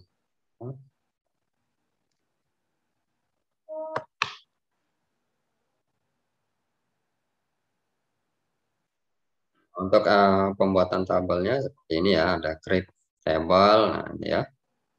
Ini not null, nah ini ada nama constraint-nya ya. Null ya. Kalau yang unik itu bisa juga kita masukkan, misalnya di sini adalah unik ya unik. Bisa ya seperti ini. Atau mau ditulis di bawahnya bisa seperti tadi ada constraint ya. constraint misalnya misalnya Nah, seperti ini ya, constraint, nama constraint, unik, nah, nama kolomnya ya. Nama constraintnya tulis saja, misalnya yang uniknya apa, name K gitu ya. Yang unik, dalam kurung, kolom apa, kolom name. Nah, seperti bisa seperti ini ya. Tapi pilih salah satu ya, jangan dua-duanya ada unik di di kolom yang baris yang sama dengan yang di bawah. Pilih salah satu mau pakai yang ditulis di sini atau yang ditulis di bawahnya. Ya, pilih salah satu ya, jangan dua-duanya. Kalau yang primary key ya sama juga constraint ya, constraint. Misalnya primary key-nya apa? That nah, that ID gitu ya. Jadi primary key biasa kita singkat PK gitu ya. Primary primary key ya. Primary key kolomnya apa? Department ini ya. Di constraint nama constraint primary key kolomnya apa ya. Nah, gitu ya. Atau mau ditulis di sini, misalnya primary key langsung aja di sini karena sudah not null kan primary key itu ya primary key ya itu bisa. Bisa di sini dia langsung di baris yang sama gitu ya, di kolom yang sama. Tapi pilih salah satu juga ya jangan dua-duanya. Ya. Akan bingung nanti SQL-nya kalau ada dua-duanya ya. Kemudian kalau contoh di sini nih pakai jadi kalau contoh di sini dia buat tabel dulu gitu ya primary key-nya kan belum dibuat ya. Inilah. Ini kan saya sudah ubah nih.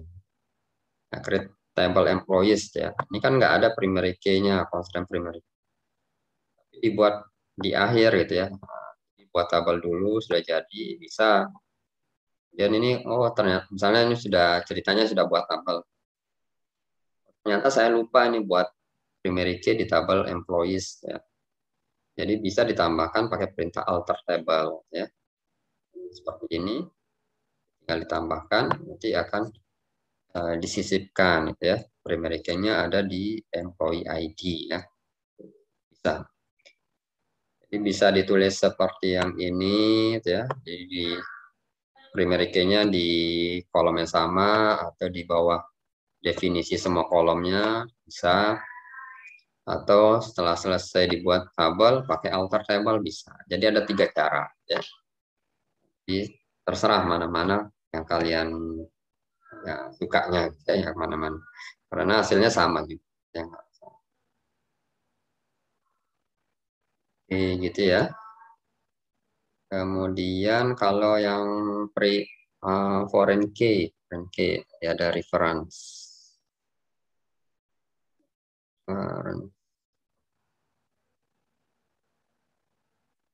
Oh ini foreign key ini. Jadi foreign key itu ada reference ini ya. Jadi reference. Jadi foreign key, foreign key nama ini ya. Jadi constraint nama foreign key-nya apa? Misalnya employee foreign key biasa kita pakai FK gitu ya. Kalau primary key PK gitu ya. Jadi secara default. Kalau unique UK gitu ya, unique. Biar, biar namanya apa ya teratur gitu ya. Ya, ada reference. Nah, jadi reference-nya ke tabel apa gitu ya. Tabel departemen. Pada sini ya kita lihat. Jadi ini foreign key itu ada di tab di tabel employees ya. Ini tabel tabel employees. Namanya adalah departemen dep ID gitu ya.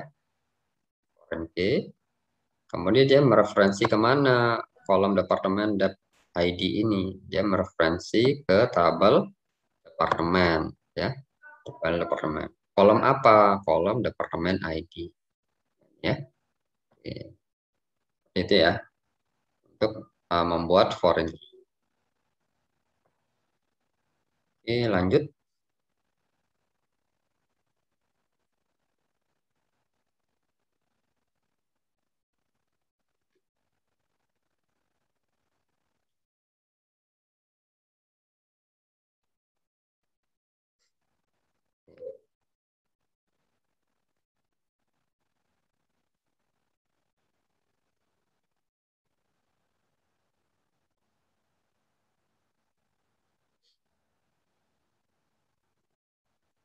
Oke, kita lihat contohnya ya. Jadi penjelasannya sudah ya tadi ya.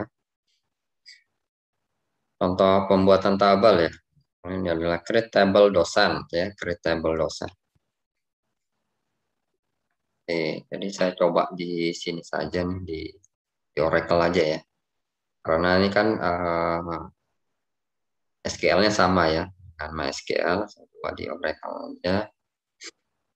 Ini saya copy saja ya biar cepat.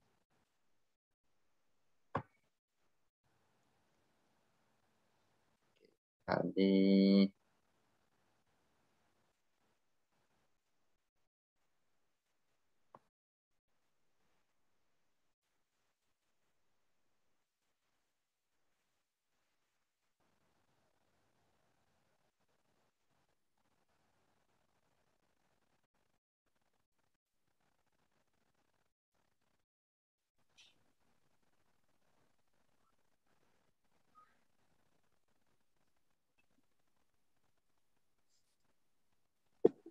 Ini saya buat nama yang berbeda ya. Kemarin saya sudah ajarkan juga ini buat sudah buat tabel dosen ya. Kita buat ini aja ya. Create tabel dosen satu ya. Nama tabelnya dosen satu. Ya. Kemudian ya, kemudian kalau di MySQL ya mungkin perlu disesuaikan juga ya. Sesuaikan juga deh. Ini karena di Oracle kalau di Oracle itu tidak mengenal INT gitu ya, integer. Jadi dia eh, pakai integer bisa gitu ya, integer bisa. Jadi tidak disingkat INT gitu ya, integer. Ya, satu, karena pakai integer aja nih semuanya. Karena integer juga enggak ini juga, cuma dikenali juga sih sama Oracle gitu ya. Cuma nanti akan diubah jadi number ya. Ya, kita coba coba jalankan.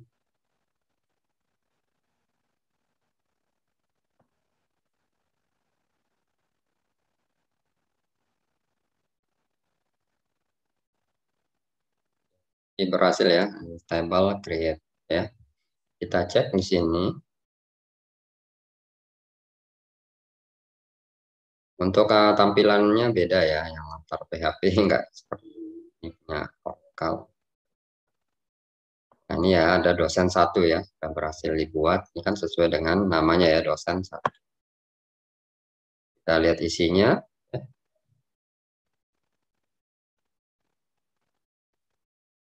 Nah, ya, jadi yang integer tadi akan diganti sebagai number ya. Tetap dikenali oleh Oracle, cuma ganti sebagai number ya. Part satu number ya seperti itu. Yang no labelnya tadi ya tergantung kita pada saat ini. Kalau primary key ya otomatis kan tidak boleh nol ya, not nol. Kalau yang lain yang ini yang diatur, ya ini not nol jurusan ya Nah, jurusan itu tidak boleh nol. Nah, no. Ya. Yang primary key-nya no. Yang lain kan kita tidak atur. Ya. Berarti ya yes, yes. Ya. Dibolehkan nol. Ya. Yang lain kan nama. Ini kan kita tidak menambahkan constraint nol ya. Atau not nol. Gaji juga seperti itu. Oke, seperti itu ya. Untuk datanya belum ada ya karena nanti kita pelajari di pertemuan berikutnya ya datanya masih kosong sini ya datanya masih jadi kita buat ini struktur tabelnya dulu ya nah, jadi bagaimana kita ingin memasukkan data tapi tabelnya belum ada kan gitu jadi dibuat dulu tabelnya struktur tabelnya tipe datanya baru bisa kita masukkan tabel-tabelnya ya Oke, kemudian Contoh yang berikutnya di sini ada create table jurusan ya. Oke, saya copy aja ya. Di sini primary key bisa di sini ya. Juga tadi dibuat uh, ini ya. Di bawah tadi ya, di bawah setelah definisi kolom itu uh, primary key-nya bisa constraint ya. Ini create table jurusan. Nama jurusan satu juga hmm, number aja ya karena nanti akan menjadi number aja ya.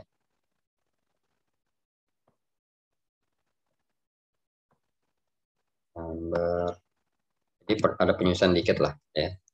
MySQL dengan uh, Oracle. Kita jalankan. Nah, jadi dia mereference dua ya dua, dua foreign key ya. Jadi dari tabel dosen juga yang sama dengan kolom NIP ya. Cuma yang satunya sebagai nilai dari kajur, yang satunya sebagai sekjur ya, sekretaris program studi, sekretaris jurusan ya, sekjur. Dijalankan, run. Jadi tabelnya berhasil dibuat ya. Oke, kita cek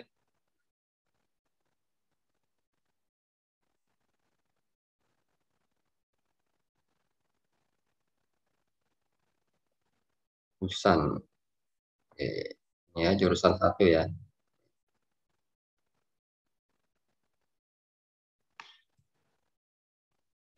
Oke, sudah ya, berhasil dibuat. Yang lainnya karena kita nggak pakai not null ya, iya semua yes gitu ya, dibolehkan diisi kosong gitu ya, untuk nilai yang lain, jurusan, kajur, dan Oke, kemudian Nah, ini ada create table mahasiswa ya. Nah, ini contohnya di sini foreign key yang sama juga ya ini. Coba ya.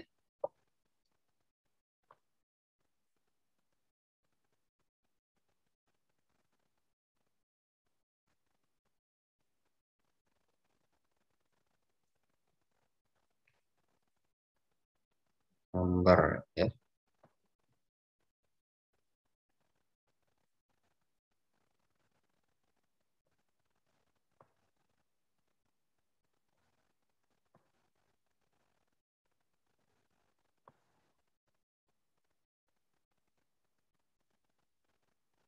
Ini untuk lahirnya, tipe datanya adalah bit ya, bit.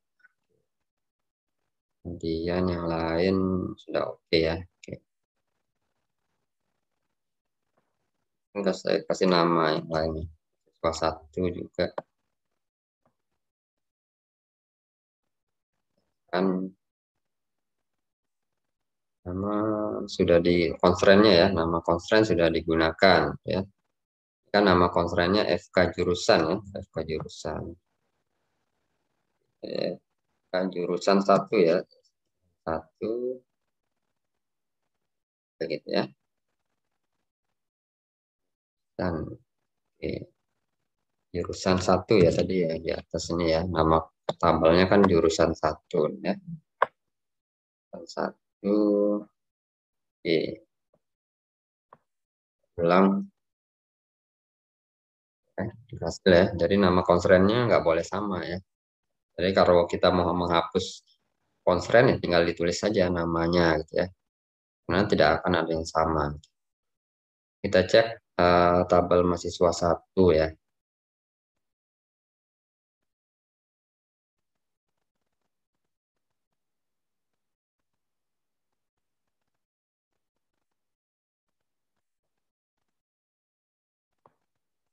Satu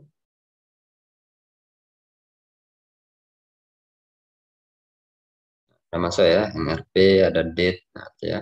Yang lahirnya date ya. Lainnya oke, okay. masuknya sama ya. Yang lainnya di sini nggak dimasukkan not null ya, semua kosong ya.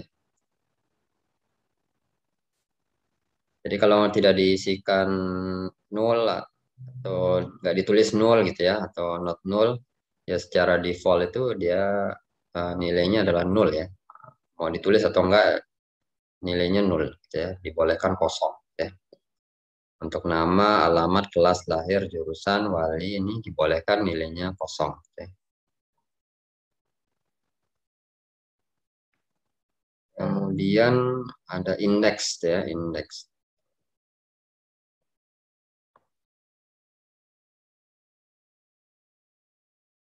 Indeks di sini suatu tabel khusus yang berisi kolom dengan data yang telah diurutkan, gitu ya. Gunaannya adalah mempercepat pencarian, gitu ya. Kemudian pengujian data unik, gitu ya. Kemudian otomatis ini dibuatkan suatu, suatu kolom ya, dianggap sebagai primary key atau unik. Ya. Tadi dibilang kalau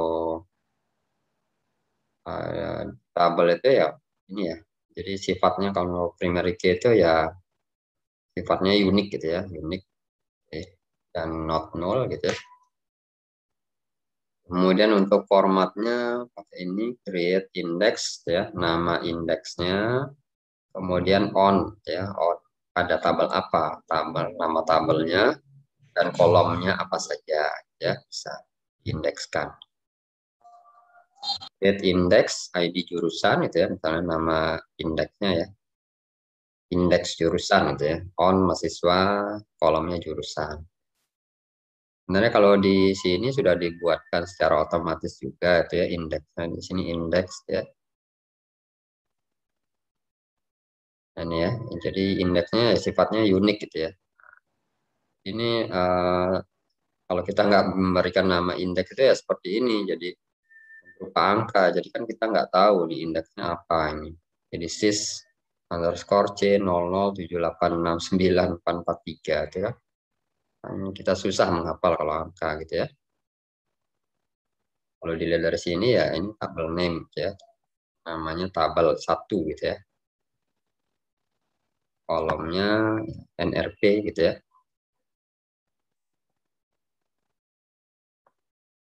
Ya gitu ya. Bisa diberikan nama indeks. Kemudian lanjut. Ini contoh basis data gitu ya, basis data. Oke. Jadi di sini ada tabel basis data tenis ya. Jadi ada tabel players, ada tabel match, ada penalties, ada teams, ada committee members ya. Di mana semua punya atribut, jelaskan juga tipe datanya, ada primary key, ada foreign key ya, FK ini ya. Jadi uh, ya tinggal kita buat saja ini uh, tabelnya pakai SQL ya. Ini informasi yang di sini sudah jelas ya, mana yang null, mana yang not null, nanti ya. Oke, ini di rancangan database-nya ya.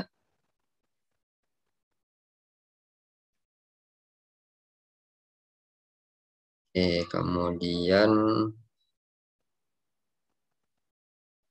nah, contoh create table-nya, ini buat table players ya. Jadi ya cukup seperti tadi ya, create table players. Kemudian nama kolomnya player no, small integer, not null. Ya. Nah, di sini primary key-nya nggak ditulis sejajar dengan player no, ya, tapi ditulis di akhir seperti ini ya. Jadi untuk penulisan apa keyword constraint juga uh, apa opsional aja gitu ya. Cuma sebaiknya ditulis juga sih constraint, nama constraint baru primary key dalam kurung player no ya, gitu. Ya, sebaiknya seperti itu ya supaya uh, nggak di generate secara otomatis oleh sistem uh, apa basis data untuk nama primary key-nya, ya, nama constraint primary key. Itu yang lain nama di koma ya pakai koma ya posisi nama char 15 not null. Inisial char not null ya. Tanggal lahir date ya. Sex jenis kelamin ya. Chart karena nilainya satu ya. M atau f ya besar jadi ya sebaiknya kalau tulis di database itu ya jenis kelamin kalau nilainya hanya dua gitu ya laki-laki dan perempuan ya jangan tulis laki-laki L A K I L A K I gitu ya. Lebih bagus ya tulisnya satu bit aja gitu ya. Karena kan kalau laki-laki itu butuh 9 karakter ya kan akan pemborosan juga kita ngaturnya disesuaikan aja dengan data ada ya. Oke gitu ya. Jadi tinggal disesuaikan aja seperti ini gitu ya. Mana yang not null, mana yang null gitu ya ya kalau yang nol ini ya nggak perlu kita tuliskan. Ya secara default ya secara default. Terakhir ini primary key player gimana kalau membuat committee members? Committee member kita lihat IRD-nya yang ini ya. Nah, jadi create table committee members ya dalam kurung ya. Player no small integer ya. Langsung bisa tulis primary key bisa ya. Nanti foreign key-nya Nah, dia nggak bisa di satu baris ya, key. Dia selalu di bawah, ya, di akhir definisi semua kolom. Ya. Kemudian koma begin date, datanya date. Kemudian primary key juga, yang bisa kita tambahkan. Kemudian koma and date, date, ya.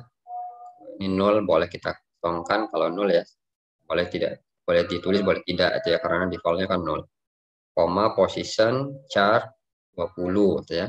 Nah, kemudian yang foreign key-nya constraint ya, constraint nama foreign key-nya ya bebas gitu nama foreign key-nya. Kemudian foreign key kemudian dalam kurung karena ada dua ada satu ya foreign key-nya. Foreign key dalam kurung player no ya. Reference reference ke tabel apa player ini? Reference ke tabel players ya, player dalam kurung tabelnya apa? Namanya tabel player. Nama kolomnya adalah player no ya. Itu aja sih buat ini ya. Nah, ini ya. Nah, sebenarnya di sini nol ya, ini salah tulis nih nol. Nah, kemudian di sini ada reference ya. Nah, harusnya nol ini ya. ya. Nol, kemudian primary key-nya tapi ditulis di bawah ini bisa, nggak masalah gitu ya. Mau ditulis di sat, sejajar dengan kolomnya nggak masalah juga gitu ya. Yang penting pilih salah satu ya, jangan dipilih dibuat dua-duanya gitu ya. Di bawah sama sejajar dengan kolomnya gitu ya. Oke, kalau ada dua dipisahkan dengan koma ya, player no dan begin date. Foreign key-nya seperti ini, player no, reference player, player, nama kolomnya apa, player no.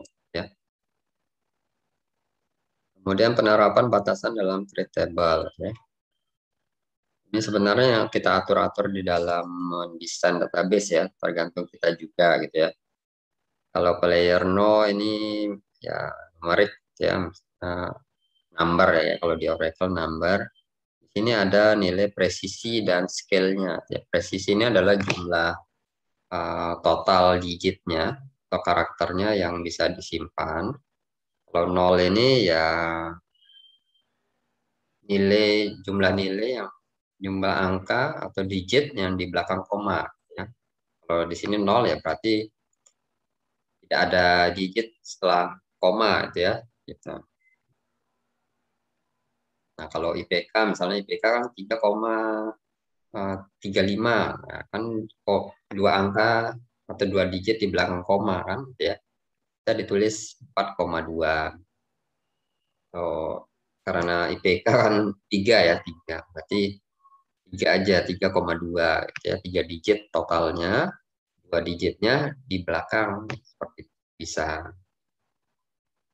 Kalau di sini di Oracle ini bisa juga gitu ya. Kita lihat misalnya di tabel apa ya tadi?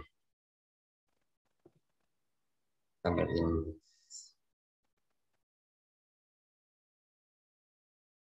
dosen nah, number nah ini number ya kita saya buat baru aja lah ya baru ya. Di create table mahasiswa dua lah ya. Ini tidak dimasukkan presisinya. Jadi bisa kita masukkan ya. Misalnya atau inilah ya, IPK lah ya. IPK number ya. Dalam kurung 3,2 gitu ya. Ini. Kemudian lain misalnya NRP ini misalnya 9 digit ya 9,0 ya. Ada komanya gitu. Kita buat saran. Ya nama conference sudah ada ya. Oke asal aja ya. Lah gitu ya. Beda aja ya. Kita cek tabelnya mahasiswa dua.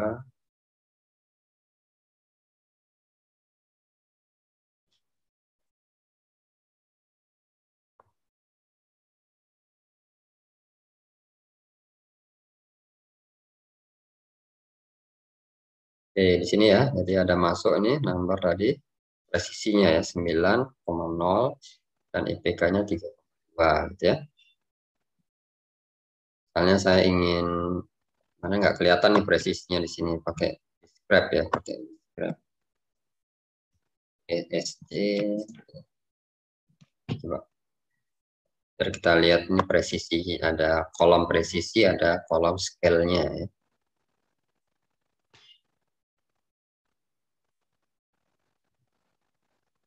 agak lama ya kalau describe describe ini describe-nya agak lama ya. Mungkin sambilan aja kita ini. yang lain ini yang biasanya untuk uh, tipe data number ya. Kalau karakter ini tidak ada presisi dan scale-nya ya.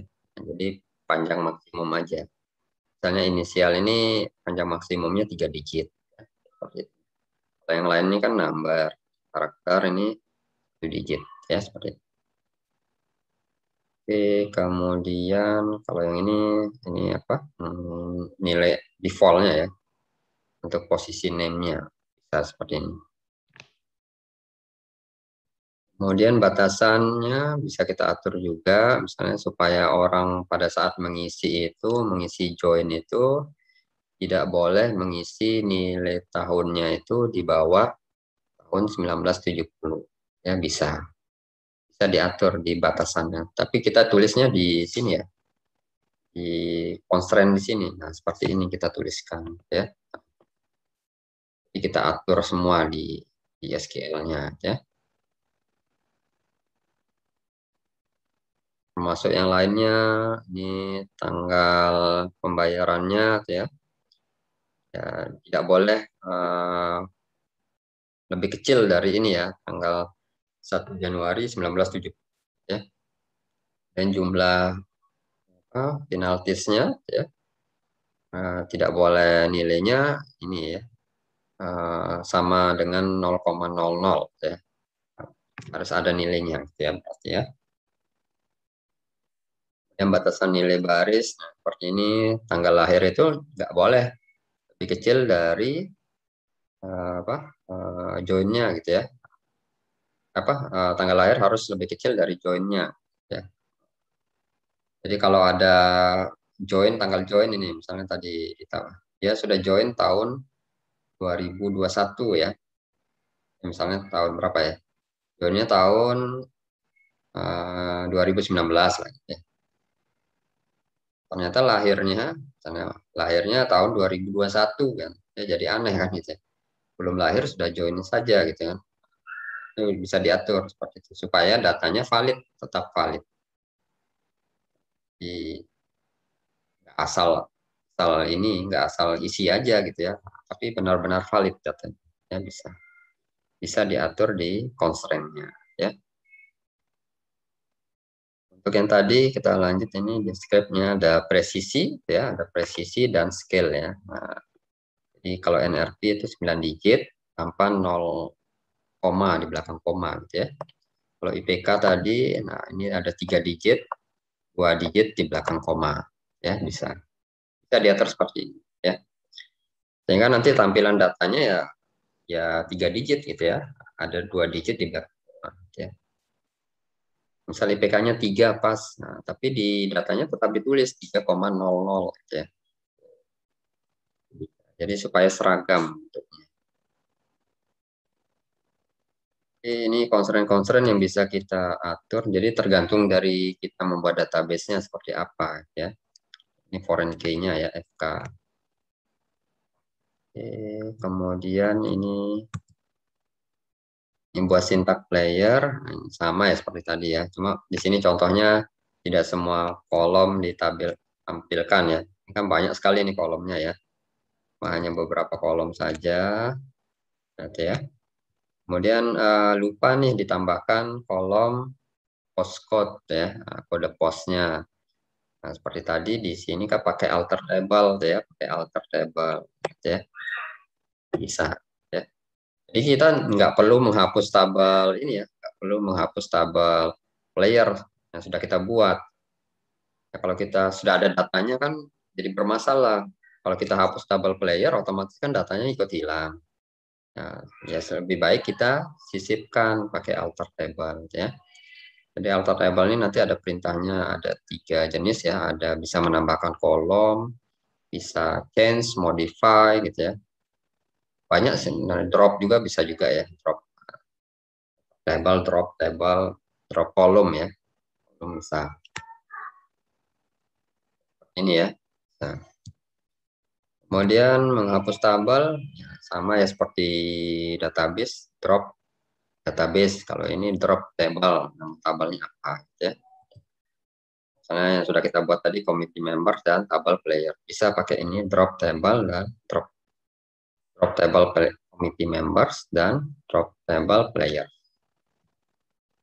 Kemudian mengubah nama, mengubah nama ya apa rename gitu ya. Rename table. Nama tabelnya apa? Ada keyword to ya, to. Kemudian nama tabel yang baru apa ditulis ya. Nah, ini salah tulis nama kolom, nama tabel ya bisa saja diubah kan ya ini nama tabelnya awalnya Teams. Nah, ternyata kita ingin mengganti nama jadi grup. Bisa. Ya. ya ini saja, rename table Teams to group. Kemudian mengubah struktur tabel, ya pakai alter table tadi, ya. Alter table, table name, alter specification, ya. Alter alter specification ini ada beberapa ya. Ini ada menambahkan atau add column. Jadi perintahnya adalah add column call name, ya, kolom nama kolomnya, dan kolom definitionnya. Kolom definition ini ya tipe datanya, panjang karakternya, ya, kemudian bisa offline juga bisa juga dimasukkan. Mau not null, mau null bisa dimasukkan, ya. Tapi ditulis lengkap ya. Jadi ini tambahan. Jadi tulis kalau add column, jadi tetap ditulis alter table ya alter table, nama tabelnya apa, baru add kolom, nama kolom, nanti kolom definitionnya apa, ya. Kemudian ada mengubah. Ya, mengubah ini bisa pakai dua keyword ya, ada change sama modify, ya. Change di sini kita lihat bedanya hanya di bagian ini ya, di nama kolomnya dilampirkan nama kolom yang lama dan nama kolom yang baru, ya. Kalau modify, tidak ada kolom nama kolomnya cuma satu. Nah, kalau dilihat dari ini kan, nah, kalau kita ingin merubah nama juga, itu bisa kita pakai change. Ya. ya merubah nama, masuk kolom definition. Nah, ya. Kalau untuk modify ini ah, kira-kira uh, nama kolomnya tetap sama, cuma yang hanya kita ingin ubah itu ya, tipe datanya, panjang karakternya bisa kita ubah menggunakan modify ya. Jadi kan kita tidak perlu menuliskan uh, all column name dan new column name ya. Tapi ya tetap bisa sih digunakan kalau mau pakai change bisa, modify bisa. Cuma lebih panjang saja kita tulisnya. Lebih panjang dikit gitu ya. Kemudian bisa menghapus pakai drop, drop column, column name, drop primary key, drop foreign key. Nah, dituliskan nama foreign key-nya ya. Nah, itu uh, anaknya kalau kita buat foreign key ada namanya gitu ya, foreign key simbol misalnya nama foreign key. Nama constraint foreign key-nya. Misalnya di tabelnya ada dua foreign key gitu ya. Kalau kita tulis drop foreign key nanti dua-duanya, dua-dua foreign key itu terhapus otomatis ya. Nah, tapi padahal kita inginnya menghapus salah satu saja gitu ya. Nah, jadi kita bisa menuliskan nama constraint-nya seperti ini. Drop foreign key, nama constraint apa yang ingin dihapus ya. Oke, kemudian Nah, ini contohnya ya, penambahan foreign key, alter table mahasiswa ya. Add constraint FK wali. Nah, ini nama constraint-nya bebas ya, FK wali, foreign key wali, reference dosen NIP ya dari tabel dosen kolom NIP bisa ya kemudian nah ini misalnya lupa nih tambah foreign key bisa seperti ini table add column add constraint gitu ya. Kemudian penghapusan foreign key ya pakai drop ya tadi ya. Alter table mahasiswa. Jadi kita menghapus uh, di tabel mahasiswa ya. Drop uh, foreign key FK wali yang sudah kita buat tadi ya. Nah, kita buat tapi ternyata salah. Kita bisa hapus lagi drop form ya. Kemudian perubahan nama atau struktur tabel ya saya tadi ya rename table mahasiswa to mahasiswa rename table mas MHS to mahasiswa ya, kembalikan lagi gitu ya kemudian alter table dosen change nama. Jadi ini nama kolom yang lama diganti dengan nama kolom yang baru, namanya nama X. Ya. Parchart 30. Perubahan nama atau struktur tabel, alter table, dosen, change, dan nama, nama X, parchart 30. Kalau mau pakai modify bisa juga, tapi pakai kalau nggak namanya berubah ya, nama yang berubah bisa pakai modify. Ini, ini untuk yang penambahan kolom tabel ya. Alter table mahasiswa add coba satu, misalnya nama kolomnya coba satu. Ini tipe datanya integer, diletakkan di awal kolom, di awal tabel. Ini seperti saya bilang tadi ya, ada first, ada after. Kalau di Oracle nggak jalan nih perintah ini, gitu ya. Coba kita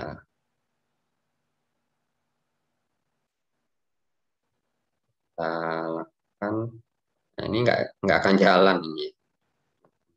Kita lihat errornya di mana. Jadi mahasiswa sudah ada ya, mahasiswa mahasiswa satu ya gitu ya mahasiswa satu. Ini integer number number.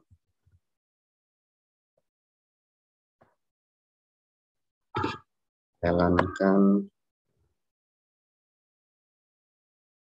Ya jadi invalid di tidak dikenali operator first ya di Oracle. Nah ini hanya ada di MySQL ya jadi kalau mau coba ya enggak ini gitu ya satu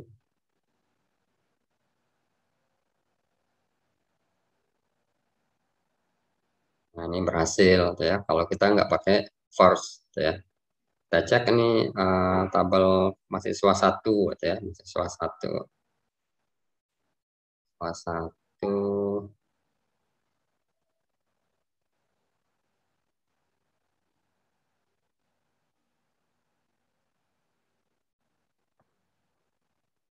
Kelas satu ada kolom coba satu. Nah, ini coba satu. Kalau di secara default ya di bagian akhir ya. Jadi tidak di, bisa disisipkan di awal ya. Kalau Oracle ya, kalau MySQL bisa ya. After juga tadi after lahir bisa. After setelah kolom lahir ya, setelah kolom lahir maka lahir. Nah, berarti di setelah antara lahir dan jurusan itu disisipkan bisa gitu ya. Ya ada keuntungan ada kekurangannya juga ya. Beda-beda ya. Jadi kalau secara default yang nggak ditulis ya first dan afternya ya. Kemudian penghapusan kolom tabel alter table mahasiswa drop coba satu. Tinggal dihapus saja. Kalau ada dua-duanya drop coba dua drop coba tiga gitu ya Kemudian penghapusan dan pengosongan data tabel. Hapus pakai drop ya, drop tabel mahasiswa langsung dihapus gitu ya. Tabel mahasiswa termasuk data-datanya hilang gitu ya. Kalau kita ingin mengosongkan tabel mahasiswa, struktur tabelnya masih ada ya, tapi datanya hilang. Bisa pakai truncate ya. Truncate table mahasiswa gitu ya. Kemudian penghapusan database ya drop database kemudian ini ya. Ini contohnya latihan. Ini langsung saja ya. Ini ya. Tambahkan satu kolom dalam tabel Teams ya. Bernama type yang memberikan identifikasi tim pria dan wanita. Ini, tambahkan satu kolom, perhatikan add kolom ya. Kita pakai alter table Nama tabelnya apa? Tabelnya players ya. Alter table players, add column. Ya. Kolom apa? Kolom type. Type. Kemudian uh, nilainya itu adalah pria dan wanita. Nah, tergantung kita mau tulis pria atau wanita, atau male atau female, atau M atau F, gitu, seperti itu ya. Ya, bisa seperti ini ya. Jadi add column type char satu gitu ya. Ini. Jadi kalau kita sisipkan dia masih defaultnya kosong gitu ya. Nah, nanti tinggal kita edit saja. Untuk yang bagian yang tim number satu, misalnya tipe apa, jenis kelaminnya apa laki-laki atau wanita, pria atau wanita gitu ya. Jadi tinggal diedit saja. Nanti kita pelajari di DML ya di pertemuan ke-8. Kemudian perbarui data dengan tim number 2 ya sebagai tim pria. Jadi seperti ini. Tim number nomor 2 ini diganti male ya. Cuma untuk update ini nanti kita pelajari nanti di minta DDL ya. Ini sudah duluan disampaikan nih padahal materinya belum ya. Ini adalah update set ya. Jadi update tim set type sama dengan M. Jadi tergantung isi kolomnya juga ya. M atau laki-laki yang mana-mana ya tergantung kita yang mau database where tim no sama dengan dua ya bisa. Kemudian tambahkan panjang karakter tone dari 10 menjadi 20 ya. Jadi bisa pakai change atau modify ya. Kalau change itu nama kolom yang lama dan kolom yang baru sama gitu ya. Ya, jadi nama kolom yang lama tone, nama kolom yang baru tone juga ya sama. Yang lainnya char 20, not 0 ya. Kalau modify modify ya satu aja ya karena nama kolomnya kan nggak berubah tone. Nah, Kemudian ubah tipe ini tipe data kolom player no dalam tabel player ya dari integer menjadi small integer. Bisa juga pakai change sama modify ya. Ini jadi tinggal diubah aja player no small integer small integer. Oke, pindahkan posisi kolom tone dalam tabel player ke posisi kolom kedua ya. Jadi pakai yang tadi ya. Yang nih yang after gitu ya. After player no gitu ya, bisa. Pakai change, pakai modify juga bisa ya. Ini bisa. Tinggal ditambahkan after player no. Setelah posisi pertama kan player no. kita harus tahu posisi pertama dulu itu apa, kolom apa. Gitu. Di posisi kedua. Ya. Ini di soal tidak disebutkan kolom pertamanya apa. Nah, kita harus cari tahu kolom pertamanya apa supaya kita bisa tulis di meskipun ya. Oke, mungkin itu saja materinya ya. Oh, ini masih ada hapus ya pakai drop ya. Oke. Kolom. Oke, materi ini saja. Kira-kira ada pertanyaan? Untuk materi UTS-nya sampai pertemuan ke-6 ya yang hari ini nanti diujikan di UAS ya. Mana ada pertem ada ini pertanyaan?